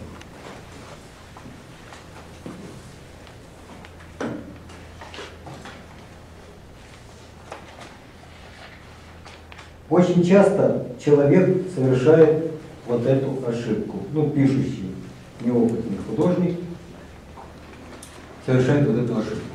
Кладет сюда равное вот этому по освещенности. Оно не равно. Вот почему.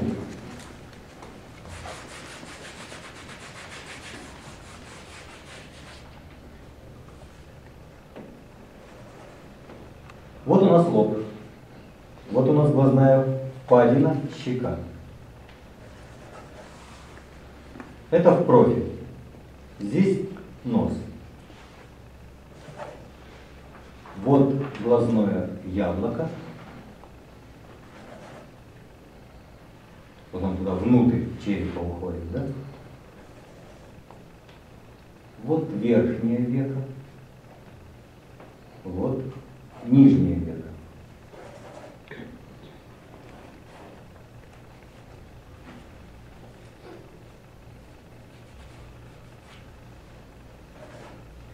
Вот эта площадка подвержена притемненности вот этого э, надбровной дуги. То есть она своей теневой частью, она ушла в тень, источник света отсюда смотрит.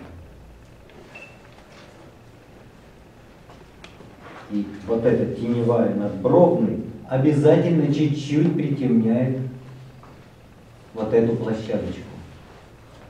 Вот эту площадочку. Поэтому равным ничему не притемненному месту, ничему не притемненному, она не может.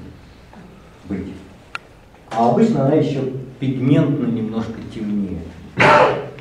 Поэтому вот это место, вот видите тональность, темнее. Но вот эта тональность здесь будет уместна. Но она не равна вот этой. Эта ошибка очень частая. Очень частая.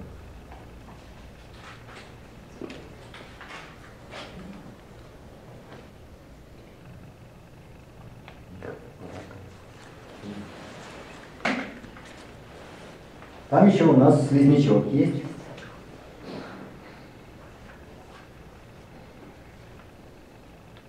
Красиво. Это Ну да, розового. слегка. Очень красиво. Ну да, э, слегка э, краснит.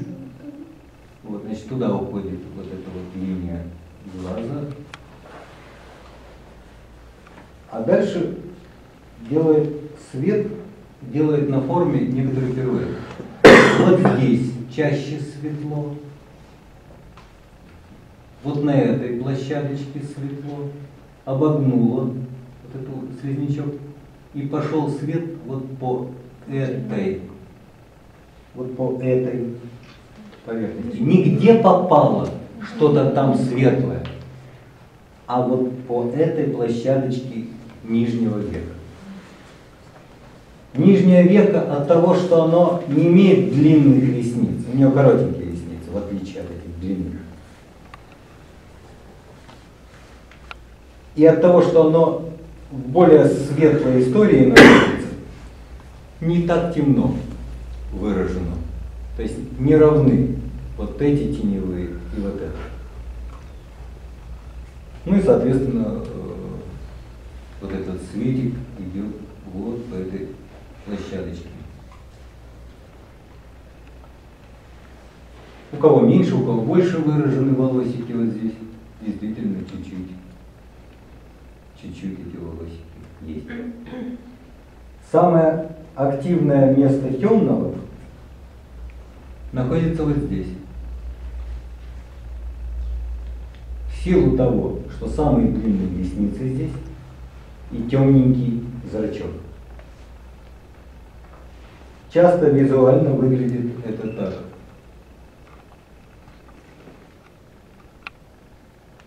Можно То есть вместе черным. они не черные, а все равно все еще коричневый с красным. Просто все меньше белил, все меньше желтил, все больше э, черного, ну коричневого и черный вообще не берите. А если светлые глаза? Вот сейчас мы доберемся до светлого. Даже светлые глаза, как правило, все-таки имеют некоторую темность по отношению к белкам. Эта темность должна быть хоть как-то выражена. Поэтому сначала идем через коричневый. А вот сейчас мы, допустим, имеем ну, какой-нибудь бутылочный или серенький цвет глаз. Мы кладем этот серенький на коричневый. И у нас глаз сохраняет единство, зрачок единство со, всей, со всем остальным глазом, но при этом становится нужного цвета, будь то серенького. И с фоном хорошо гармонирует, да? Вот, он да, он часть, часть этого целого. И представьте себе, если я сейчас, ну, я могу положить сейчас, чтобы вы увидели, как Да. дико будет звучать. Можно усилить вот эту светлость. Можно рефлексик усилить. Против блика обычно на круглых поверхностях рефлексик. Если бы освещенность была с этой стороны, то рефлексик был бы здесь, а блик здесь. На вспышках очень часто блик находится вот здесь в центре. Никогда так не делайте. Ну, вспышка, на фотографиях со вспышкой блик находится в самом центре. Никогда не делайте его вот здесь в центре. Всегда смещайте чуть выше, поскольку подразумеваем, что источник света все-таки сверху. Обычно все-таки сверху. Поэтому вот этот источник света, он э, на верхнюю часть вот этой выпуклости зрачка попадает, вот сюда. А сделай как, как с ошибкой. Как плохо, да? Да, Ну, да, как- ну, да, так лучше запомнится. Ну вот представьте себе блик в центре. Не, я имею в виду, что еще с голубыми глазами, вот с дикостью. Ты знаешь, люди, как правило, когда делают самостоятельную работу, они именно так и делают. Поэтому они сразу вспомнят, когда у них будет эта пометка, они немножко в рамки эти вгонят. Но это, это просто сейчас взять, м, потом бороться с этим голубым будет проблема.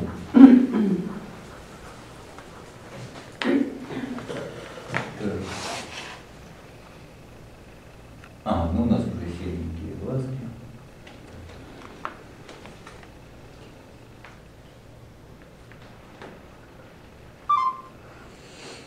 То есть вроде бы э, вещи не, с- не хитрые, но, э, как пока- показывает практика, проблема серьезнейшая.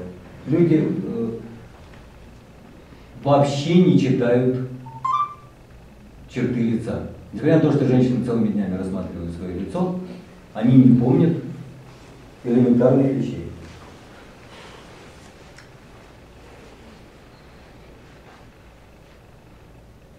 Но это не выплюк, это, это просто о невнимании не художников к тому, что они видят. Бровочка очень любит быть выраженной, и, как правило, так и есть, именно в этом месте. Часто э, неопытный художник рисует чернющую линию вдоль всего. И в итоге она еще и заканчивается так же, черно, вот так вдоль всего. Нет. Здесь все уже потише. А самое активное и самое заросшее место у брови вот здесь. Не скажи. Ну кто где там отращивает?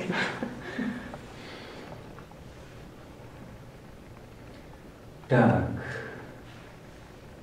Сейчас что-нибудь еще вспомню. С чем обычно сталкиваемся. А, ну вот про эту складочку. Рано или поздно, конечно, и до лица придется добраться кистью.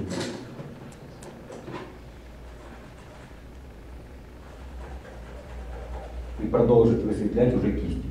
Рекомендую пользоваться лежачей на холсте кистью спокойненько, без, без попытки мгновенно все решить. То есть иногда берем ее как шариковую ручку, но чаще, чаще расштриховываем, распределяем красочку. Вы видите, тем, что я немножечко доложил светика, начала появляться вот эта складочка. Но она при этом не агрессивна, и не делает лицо старым, грубым или еще каким-нибудь. То есть чем больше я буду высветлять вокруг, а мы же идем на высветление, чем больше я буду высветлять, тем больше будет проявляться вот эта складочка. Тоже большая проблема даже для опытных художников. Слишком ее рано хотят выразить. И, как правило, делают утемнение, помните, я сделал чер, чернявую линию, которая потом мешает приятности лица.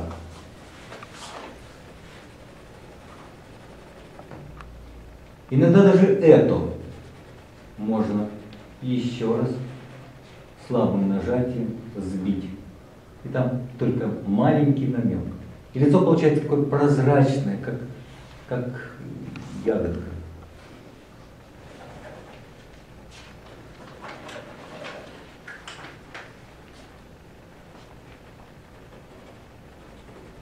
По идее, можно же было бы вот так, да?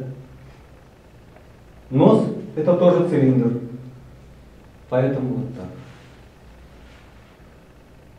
То есть метнуть красочку можно так, но потом совершить вот это.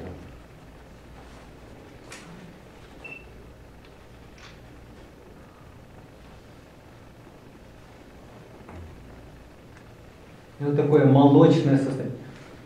Вот даже вот это вот место можно периодически сбивать его напряжением.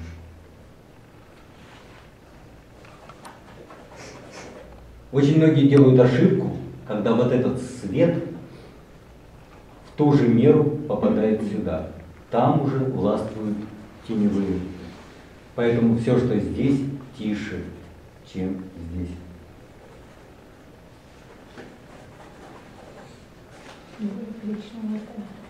Да, чуть-чуть коричневатее. Ну, главное, чтобы темнее. Меру этого э, цвета, как, какого именно должен быть там цвет, конечно, уже по мере ну, смотрения, что туда уместнее. Коричневинка или розовинка.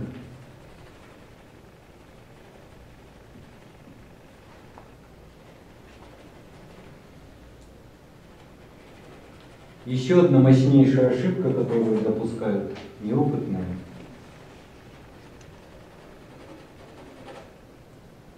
это делание вот этой линии очень жесткой.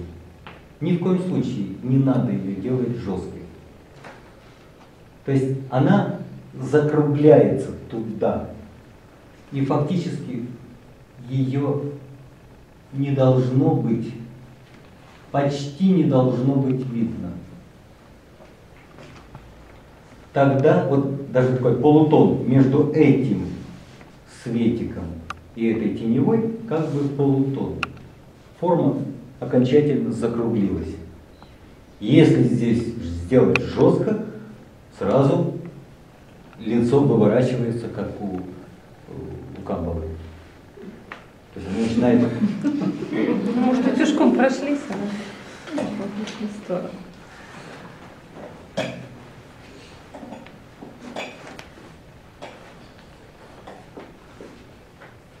То же самое и жесткость линии вот здесь.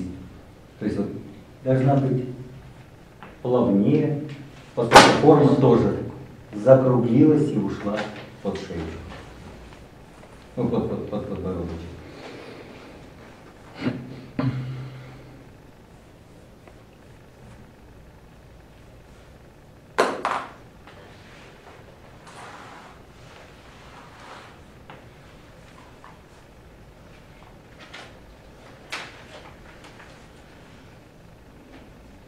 Чуть-чуть можно вот подсветлить вот этим местам. Еще круглее и выпуклее стала глазная, ну, белок, белок, да?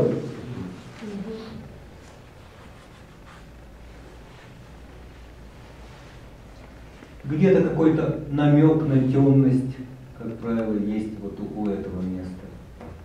Очень часто губы никак не могут повернуть в три четверти. Очень часто происходит следующее. Люди делают вот так.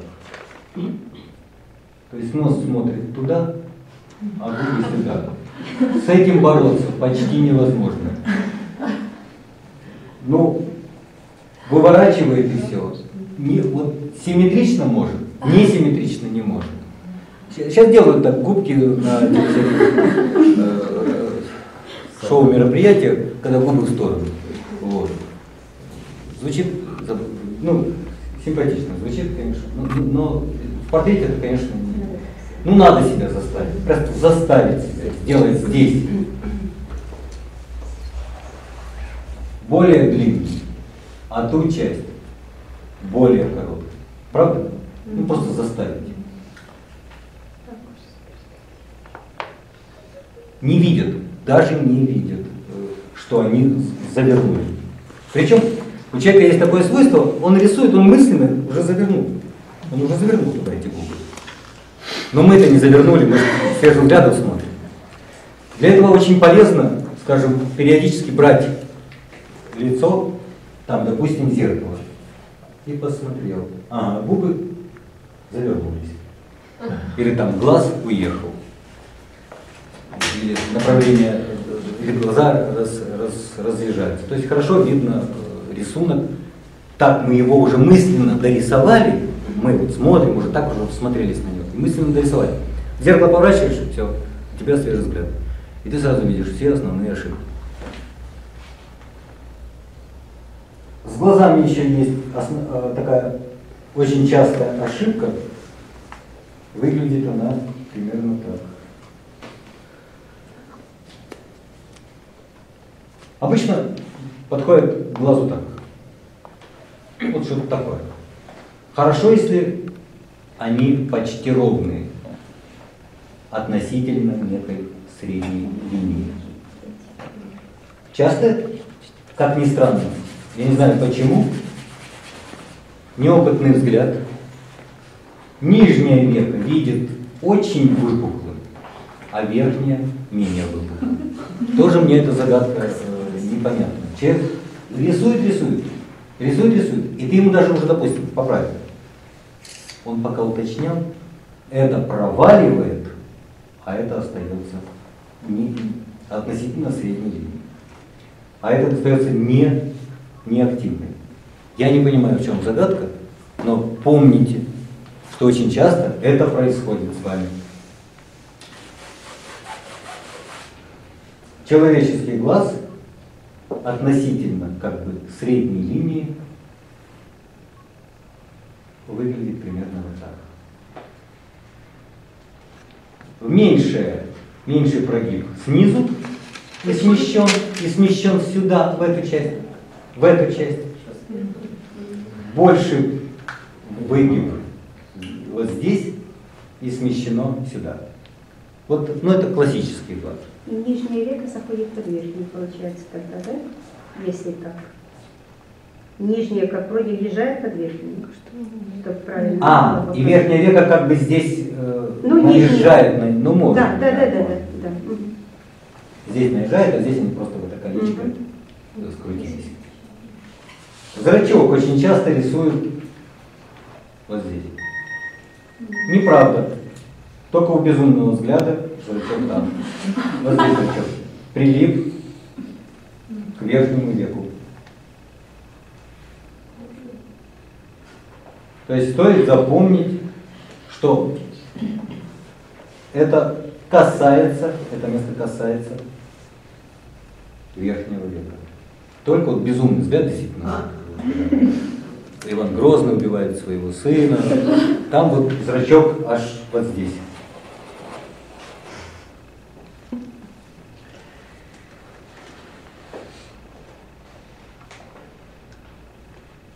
Я имею в виду картину. Вот. Верхнее веко, еще одна ошибочка, видят, что темное, видят. Но очень любят серый подкладывать, то есть коричневый разбил. В итоге серое место вот здесь, вот эта притемненность, вот эта складка, она э, либо глаза подкрашены, либо вот э, такая вот гря- гря- грязнуха такая получается. То есть глаз грязненький. Поскольку там тоже тело, а, еще в ноздрях тоже, это же проблема. Поскольку в ноздрях тело, а не черная дыра, то там краснит. И здесь тоже чуть-чуть краснит. Не берем коричневый в полную силу. Вот посмотрите, сейчас возьму в полную силу коричневый. Смотрится как дырка в холсте, правда? Мало того, она еще и зеленит. Чернота это зеленит. То есть серостью такой зеленит. И, конечно же, ну, дырка в холсте. Иногда вот эта штучка выглядит дыркой в холсте. Ну, как будто мы шилом сделали дырку, и вот она светится. Если э, есть это ощущение, надо уменьшить тональность либо светлого, либо темного. То есть темный может быть в полную силу, но если он в контексте окружения выглядит дыркой в холсте, этого надо избежать. Так же, как и темность между губами. Бывает очень темно, а бывает не очень. Но уж, конечно же, не разрез в холсте. Хорошо? То есть вот некоторую меру соблюдать. Пусть все будет на, на чуть-чуть, на пол тона. Покурить надо уже, да? Да.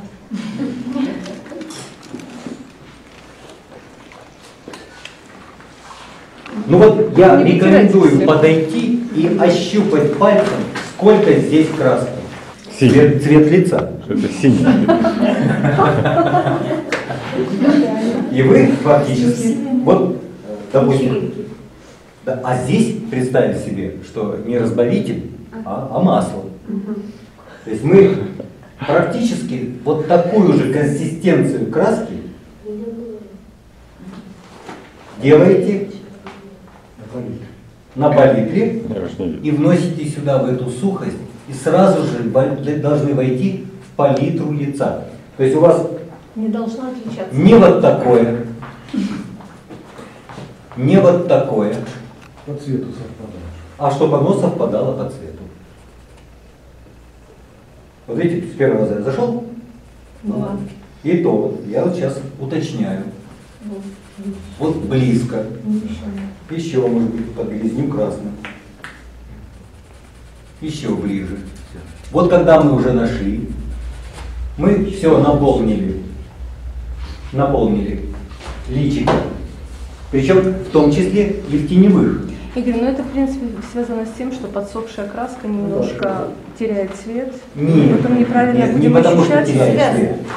Нам нужно вещество краски связаться с плавно. чтобы потом уточнять, усветлять, утемнять, где надо. То есть нам по-сухому нужно снова вещество краски, если мы продолжаем разрабатывать. Если мы не успели доделать портрет за первый сеанс, а все-таки с таким портретом, как правило, приходится возиться 2-3, а то и 4 сеанса, вот, то мы сначала должны войти в палитру, дать вещество красочки, тоненький слой, вот что называется лессировочный слой, пальчиком. Нашли, нашли, нашли, нашли, нашли, нашли. Даже когда мы вот такую же тональность начнем загонять вот сюда, допустим, мы можем даже нахально все пятно наполнить вот этим тонким слоем краски. То есть оно станет немножко призрачным. То есть как бы вот таким станет. А потом прорисовать по нему. А потом опять прорисовываем. Но у нас есть вещество краски, с которым мы работаем. Потому что просто по сухому выгонять по кусочкам там эти вот лоскутки какие-то краски, оно не будет одно в другое вписываться, начнется жесткость письма. Игорь, а если мы уже жесткость. глаз закончили и не идем туда, то есть нет смысла... Ну, если мы глазиком довольны вполне, то, конечно, мы не- сюда подошли, А насколько А туда не пошли. можно оставлять? На сколько дней максимально? насколько угодно. На 25 лет. Насколько угодно. 25. Иногда, вот мы, допустим, э, рисовали, рисовали, и мы видим, ну не то, не, не, не похоже, а глаз уже замылился, мы можем вот это не похоже опять превратить в болванку, которую нужно разрабатывать. В болваночку. Вот в такую. Где все есть, где по, по размерам все хорошо, но по чертам лица никак.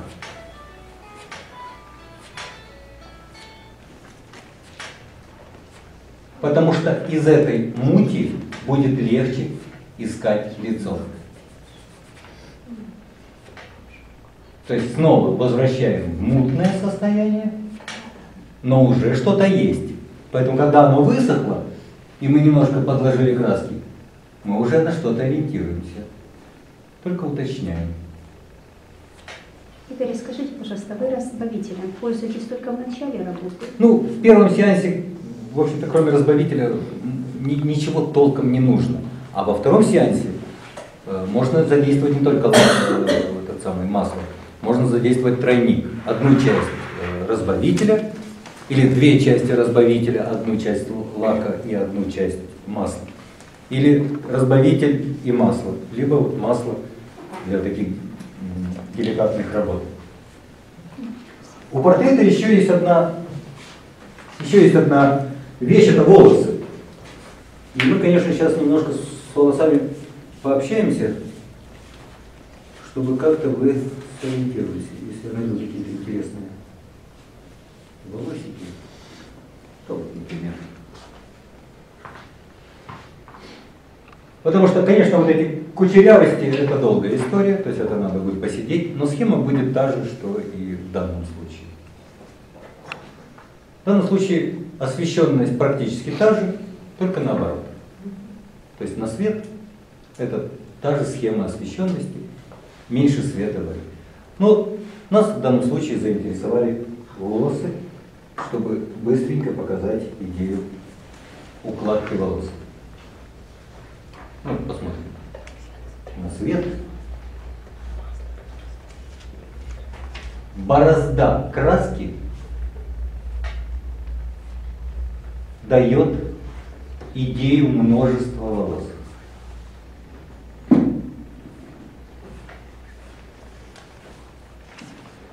Сама борозда красочки дает эту идею.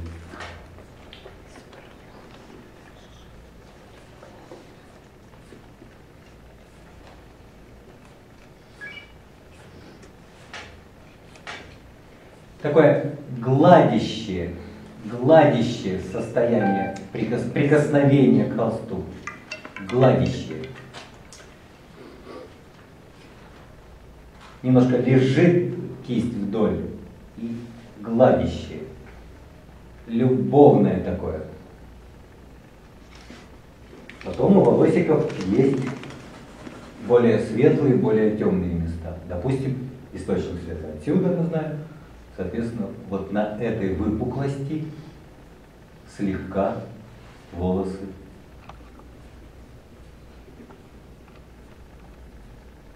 светлее. За счет желтого? За счет желтого иногда серебрятся волосы, даже очень часто. То есть это может быть сиреневость. То есть опять же в тот же цвет можно вогнать сиреневость, потому что волосы часто вот так вот лоснятся вот таким серебром. И вот густота красочки сама дает ощущение множества волос. Вы видите, да? Прямо такая укладочка вкусненькая. Здесь, допустим, волосики загнулись на ту сторону и дали вот такую бороздочку вдоль. Вдоль. Пробор.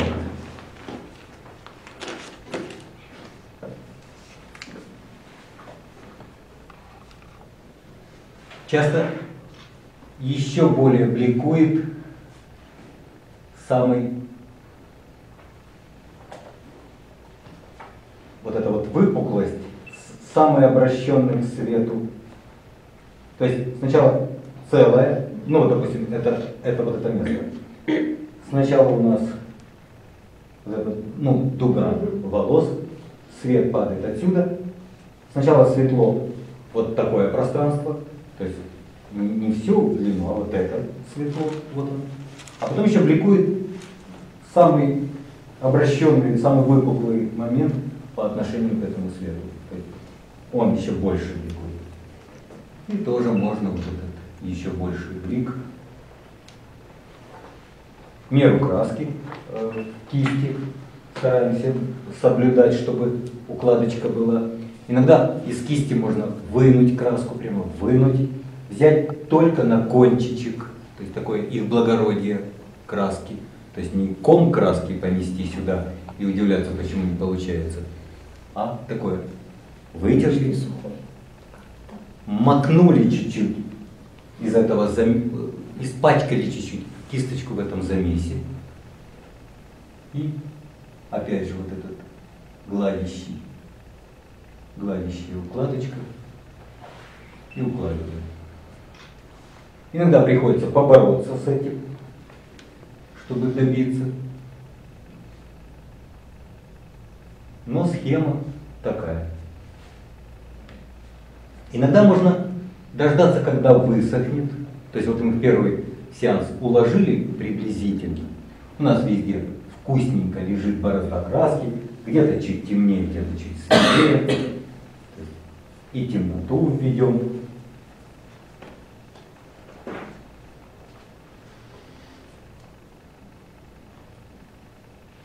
Вот если видно вам, что это именно с бороздой связано, то есть кисть дает вот эту, ну прямо очень видно множество волос. Вот. Здесь немножко уже разбито это. Может быть, стоит второй слой не укладывать, а вернуть вот эту первую идею освещенности, а блик потом тоненькой кисточкой по сухому, совсем тоненький, раздать молнийку блика, бликующих мест.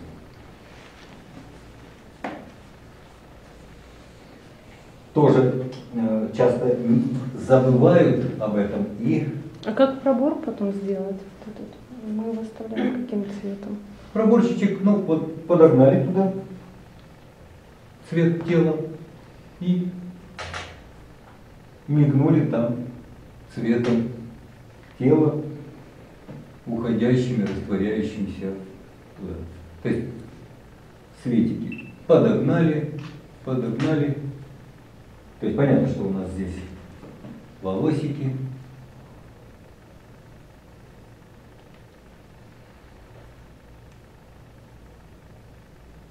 И вот там останется проборчичек. Очень часто забывают о том, ну, новичок часто забывает о том, что волосы, вот если легли, то вот цвет отсюда, то, конечно же, они отбросили небольшую теневую. Теневую вот такого же э, характера. чуть-чуть смуглее.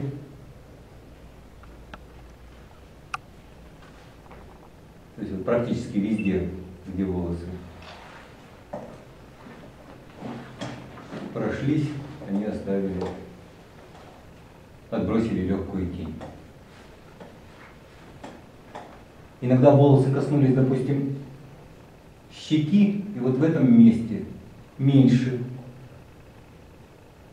тень, потому что они прямо коснулись щеки. А здесь они уже отошли от щеки и отбросили большую тень. Это, конечно, очень хорошо видно всегда на натуре.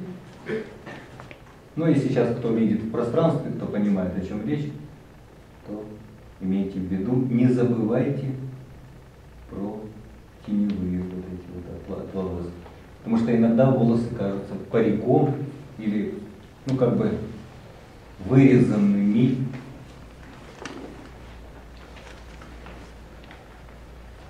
Кажется вырезан, вы- вырезанностью, то есть как если бы бумажку положить, другого цвета положить на, на написанный холст, то будет внятно вырезан край. То есть вот это единство сохраняем в том числе с помощью этих тенечек. Игорь, скажите, пожалуйста, коновое отношение шеи к лицу. А шея чуть темнее будет? Или Всегда шеечка чуть-чуть темнее. Хотя шея не так подвержена э, загару, по идее она светлее.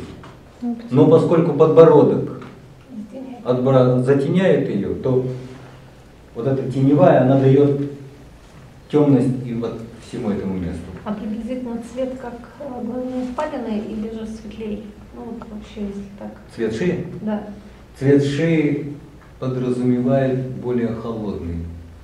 То есть э, вот эта вот белость шеи не, заго- не, за- не заго- не загорелость, она вот холодновата. То есть э, добавление, ну это получается то же Ну самое. вот опять же, из фонового пятна добрали, и она у нас чуть холоднее. Ну, в данном случае перебор сделал. Игорь, если фоновое пятно у нас будет других цветов, например, больше красного или ну, Конечно, тогда и рефлексы будут больше красными. То есть, То есть тогда именно на среда сочетание на кожу добавлять именно больше как красноты, да, вот именно, ну, Она сама у нас останется, мы же А, вынули будет из этого красного вынуждена. вот это облако, облако головы, шеечки, и оно хочешь не хочешь, там в любом случае появится.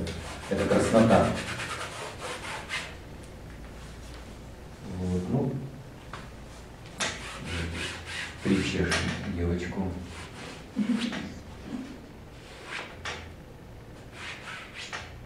Тоже, видите, тряпочкой, тоже акварельные мотивы. А скажите, пожалуйста, после окончания э, написания лица, шеи, ну вообще фигуры, мы добавляем к фону?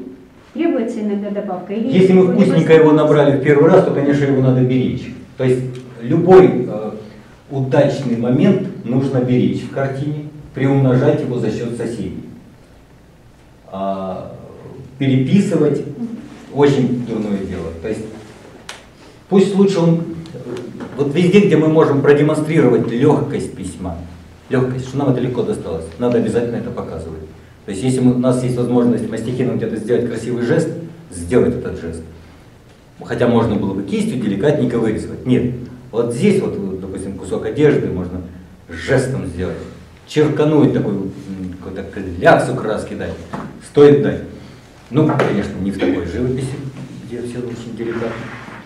Также и с фоновым пятном. Незачем э, переписывать. Вот эта вот идея переписывания, когда ты приходишь на второй сеанс к картине и начинаешь переписывать, очень дурная манера. Ею болеют очень много людей. С этим надо бороться в себе обязательно. Надо научиться дописывать, а не переписывать. И это буквально себя заставлять. Для того, чтобы это свершалось, чтобы не хотелось дописывать, особенно для новичков, вот проблема дописывания картины в следующих сеансах, это очень серьезная проблема. Поэтому рекомендую в первом сеансе делать максимум. Не застревать ни на, э, на вещи, не застревать на вещах, которые нужно выписывать.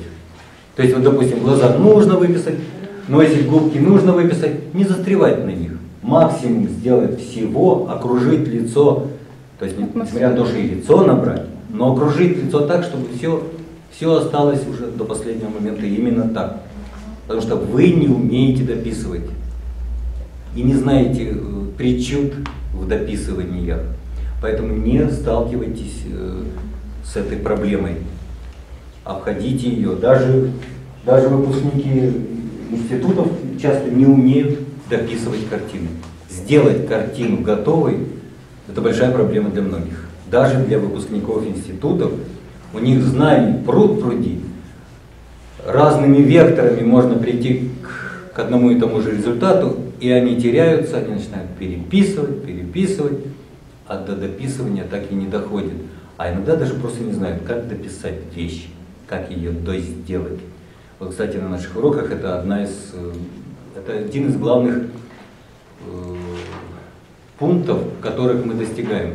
Мы не учимся принципиально, не учимся рисовать, мы учимся делать картину, делать готовый продукт. А учимся по дороге, нам еще довольно долго идти, мы по дороге подбираем уже знания такого рода, такого, такого. То есть научиться сделать картину, начать и закончить, большущая проблема.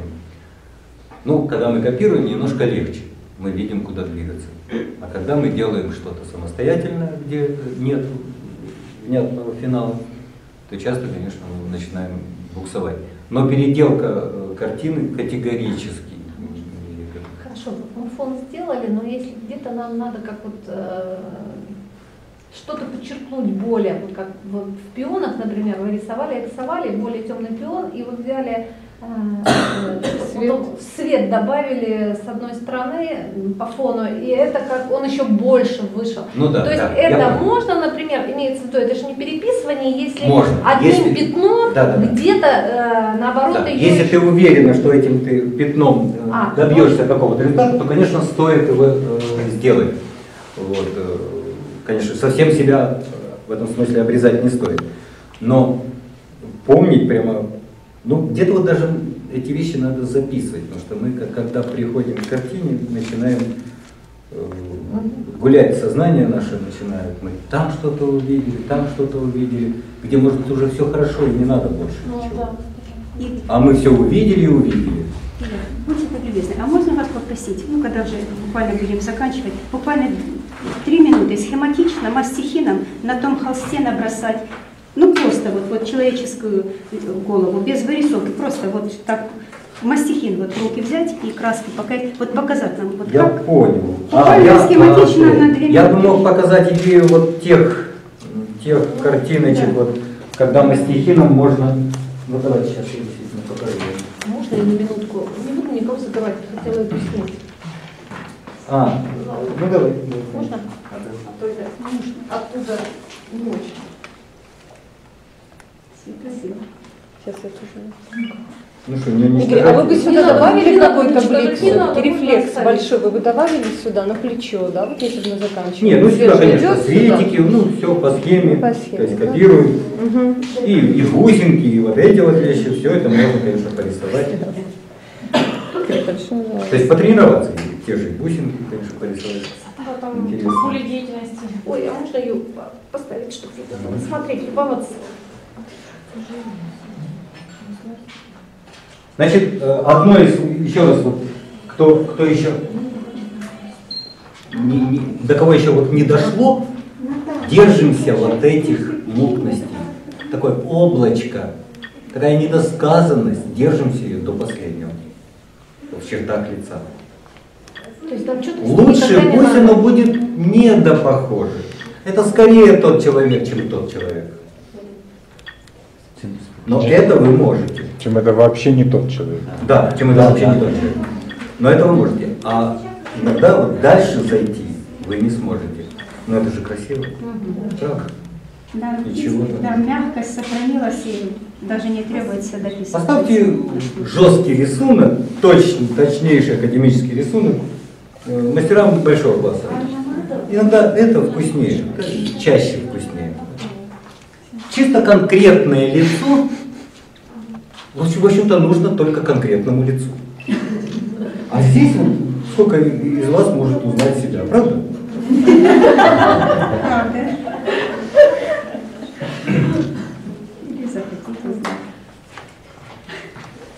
Ну, действительно, вот прикольная задачка. Да, ну хоть немножечко так чисто схематически, Ага. не задерживайтесь. Ну, как всегда, вообще стоит, стоит вот так вот поступать. Метнуть сначала, и чтобы плечо разударилось, ну, чтобы как-то вот оно заработалось. Не стоит начинать деликать, сильно-сильно там, и, уж тем более какие-то рисуночки. Ну, потом все это внутри можно рисовать. С тем же успехом. Ну, ну, не краску же нам жалко, да, там сколько 3 доллара на краску.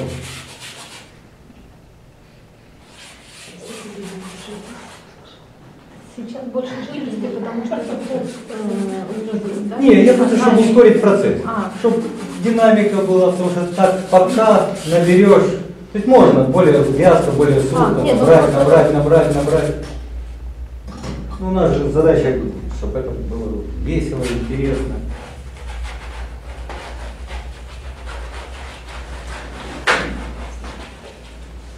То есть первый слой, конечно, мы наберем, э, набрали достаточно тонкий, жидкий, но он такой, чтобы, когда мы красочку будем укладывать, чтобы ей было во что входить, чтобы ей не было вот так сухо. Сухо, чтобы ей вот так вот не было. Пусть лучше вот такая слякоть, ляксочность.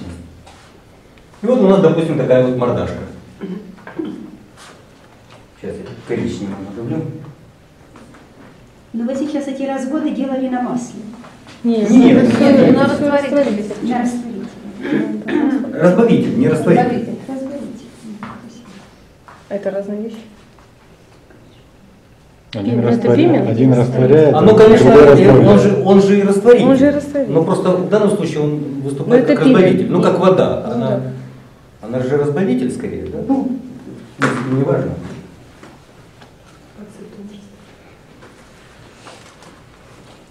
Ну, например, мы видим внятно темный угол. Сразу можно взять его и отсечь. Просто, чтобы даже не участвовал уже в рисунке. Тем не менее, он нам уже с этой стороны, с левой, примерно очертил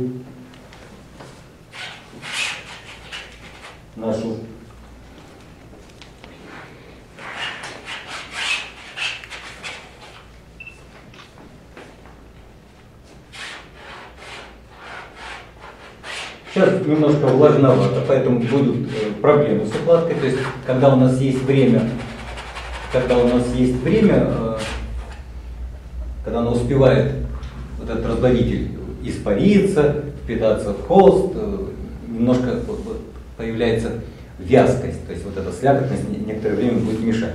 Ну, не настолько, чтобы прямо расстраиваться. Тоже с этой стороны.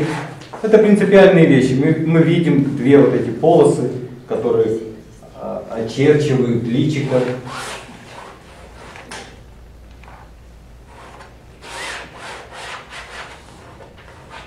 Намек на плечо. Если плечо потом окажется вы- высоко или низко, подвинем его. Вы видите, у мастихина есть возможность вот так штриховать.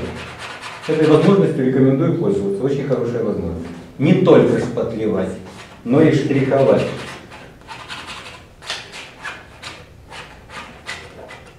Часто вот так смотришь, э, ну вот раньше, когда я мастихином не пользовался, у меня был такой период, потому что один из моих педагогов сказал, что если художник взял мастихин в руки, то значит ему больше нечего сказать.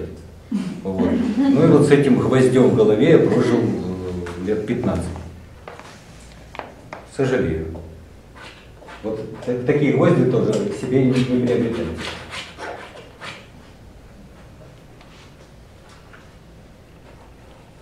А художники лукавый народ, чтобы выгородить свои какие-то невозможности, он что-то хулит.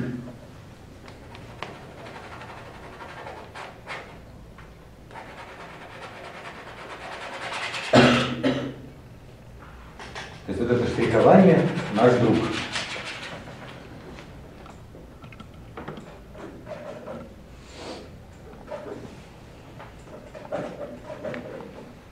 Ну вот, э, казалось бы, с чего рисунок начать? Ну, конечно, вот э, лицо разделено почти пополам, разделено на тень и свет. Внятно разделено. Мы сразу это делаем. Линия подбородка тоже темна. Чуть темен мотив глаза.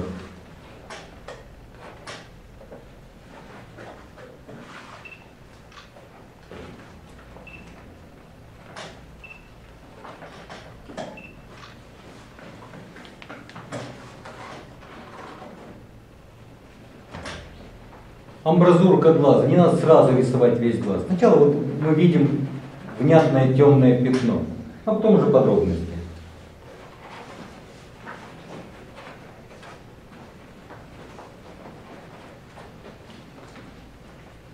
Где-то теневая под носиком. Она мало различима, но она тем не менее есть. Надо помнить о том, что теневая под носом одно из серьезных э, участников рисунка. И не, не линия носа чаще, а именно теневая под носом.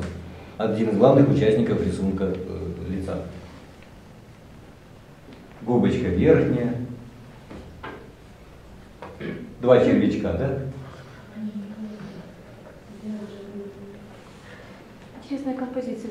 Несмотря на то, что голова срезана, да, то она смотрится либо что вид снизу головы. Да? Ну, это модные сейчас композиционные трюки, пользуемся, конечно. Кто-то их изобретает, эти э, обрезанности, ну, и хорошо, а мы пользуемся. Ну, где-то намечечек. Одну бровочку, другую. На Иисуса Христа похож сейчас. Ну, потом чем? Ну вот опять же, иногда человек делает что-то другое, он другое делает. Он делает вот, вот этот портрет, вот вы сейчас говорите, похож на Иисуса Христа. А потом вдруг оказывается, что в этом образе больше узнается, ну и довели до того э, состояния. То есть, может быть, в в сторону образа Иисуса Христа, допустим, продолжить э, эту картину. То есть творческий процесс, он У нас были, да, рисовали девушку, получился Пушкин. А у меня а, одна рисовала своего брата а, в виде э, демона э, Врублевского, демона сидящего. Вот. Ну, не, не, ну как, он там уже красиво сидит. Красиво. Ну, она своего брата хотела сделать ему подарок. Получился Майкл Джексон. Получился как раз ту неделю, когда он умер.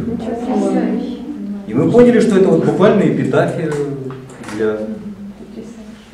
для этого случая. Получилась очень интересная картина. А, влажная еще. Ну, сейчас можно удастся перемолоть эту влагу. И вот густенькими мазочечками. Когда мы свет тень раскидали, густенькими мазочечками навязываем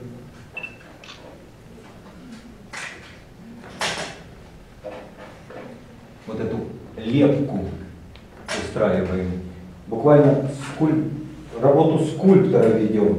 Но к этим мазкам мы уже не будем возвращаться, которые вы только что положили. Нет, может быть, еще будем. И не раз. Ну вот здесь у меня просится уже подвинуть подбородок. Вот я его с чистой совестью подвигаю. То есть подбородочек у меня уйдет вот сюда куда-то. А сейчас Фидель Кастро.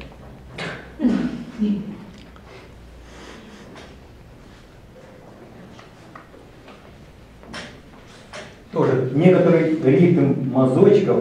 Помните, как на носике?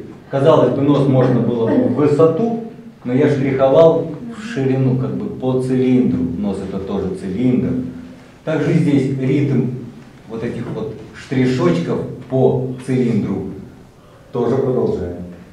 То есть это важный элемент, вот эти ритмы.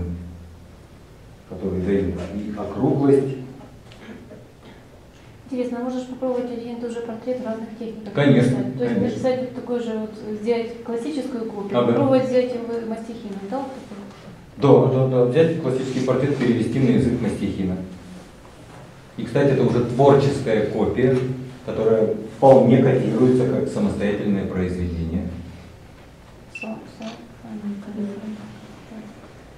То есть это уже не плагиат вообще. Ее можно подписывать собственным именем смело. Если мы вообще даже акварель переводим на язык масла, допустим, вот переводим на язык масла акварель, это уже право подписаться дает. Просто хотя бы потому, что мы сделали творческий акт перевода.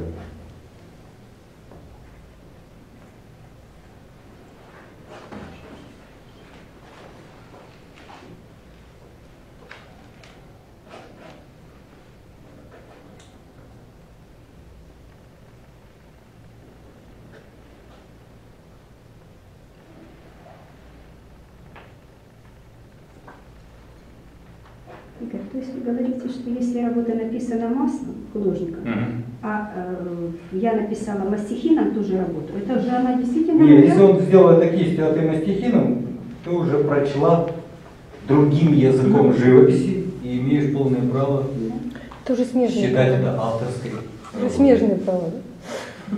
М, смежно, это другое. Ну почему? Композитор придумывает... Вот скажем, вот здесь, может быть, даже оставим вот эту голубизну.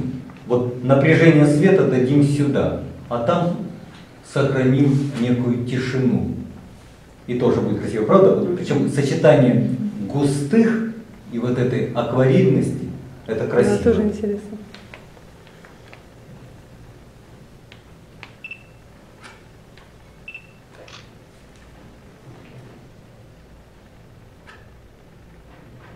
Ну, даже ребенок способен положить вот такого рода мазочки. Поэтому есть живопись, которая настолько удобна в исполнении, а звучит настолько убедительно, что нам бояться просто нечего.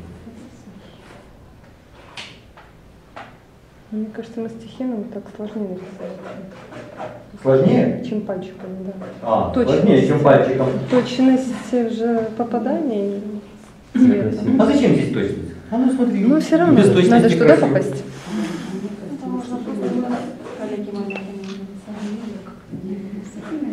Можно скрыть то, чего не сделаешь. Потом нельзя. Ну, ты же науки, же науки.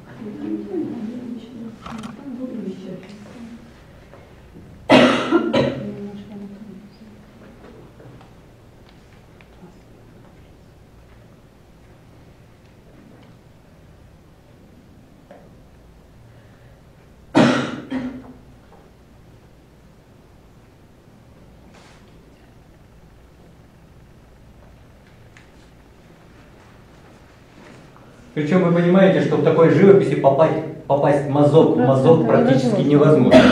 Поэтому мы автоматически идем на авторское произведение.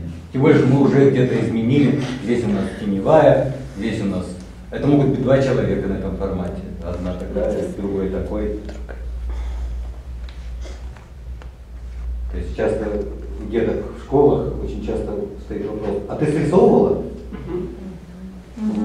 Живопись это одно сплошное срисовывание. С натуры.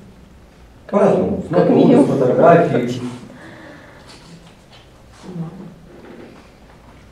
Сойти.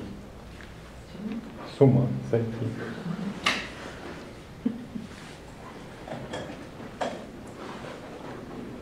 Ну, фэнтези, там кони. Все равно же коня рисуют. Или лошадь.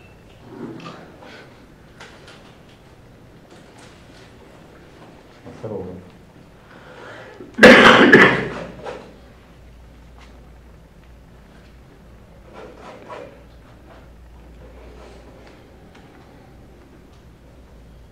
То есть я сейчас, собственно, что хочу показать, что э, технология очень удобная. Нет, она не та же, конечно, она не та же. но она очень удобная для исполнения новоначальных. Не, ну свет тень все те же. Свет тень тоже мы оставим блик.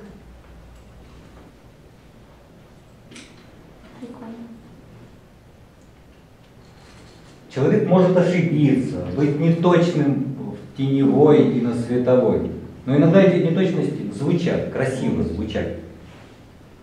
И вдруг окажется, что вот опытный это же бы сделал э, не, не красиво, ну или слишком обыкновенно. А вот эти неточности новичка могут оказаться очень звучными и красивыми. Поэтому совсем не значит, что если мы... Главное взять хорошую идею, э, из- ну вот язык, язык живописи, удобный для себя, понятный для себя. А Скажите, пожалуйста, на губы мазок именно вот такой надо ставить, как идет мышца? Вот Желательно, вот, желательно вот, вот по вот этим мери- меридианчикам, которые там существуют.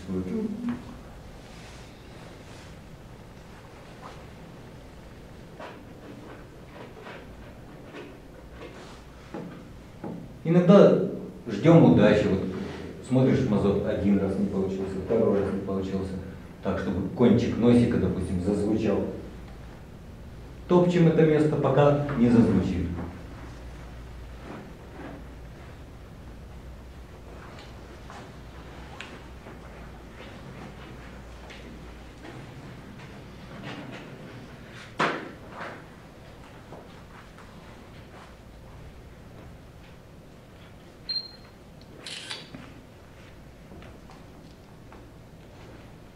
Мозаика вообще обобщает, конечно, до невероятности. Вы знаете вот эти мозаичные изображения в церквях, особенно византийского периода.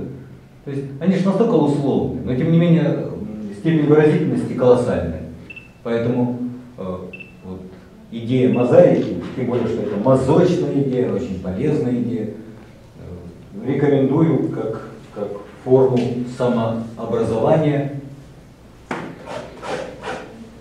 настолько она удобна.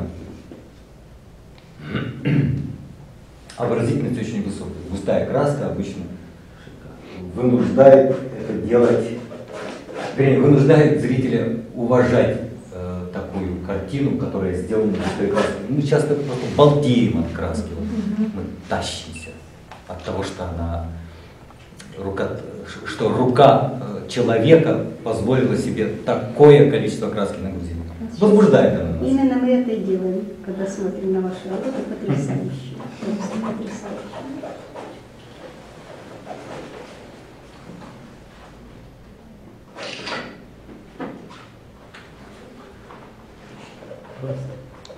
Да, ну посмотришь, ты просто легко. Я как Ну, детстве читала. Пушкина, думаю, он так все пишет, думаю, я же так могу. Я точно так же думала, как и он. Ну, Попробуй, ничего не получается. Что не получается? Буря, мглою, небо, кровь. Вот это я могу сказать, а еще такое похожее придумать не могу.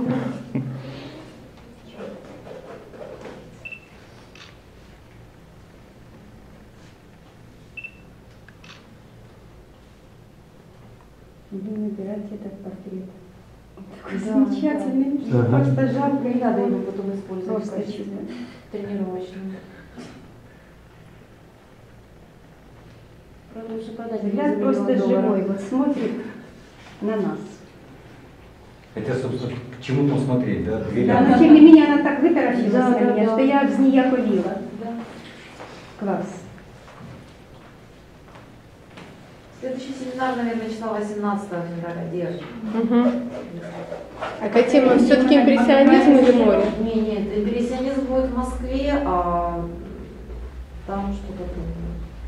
О, может, с морским пейзажем. Давай. Ну, я Ой, тоже давайте с морским пейзажем, да. Ближе к точно. Ну, я уже не буду так долго его там Да. мусолить. Да, все понятно. Если хотите, сами попробуйте мазочки поставить, большие делать. Ну, как Ну, мы, в принципе, закончили, да? Да.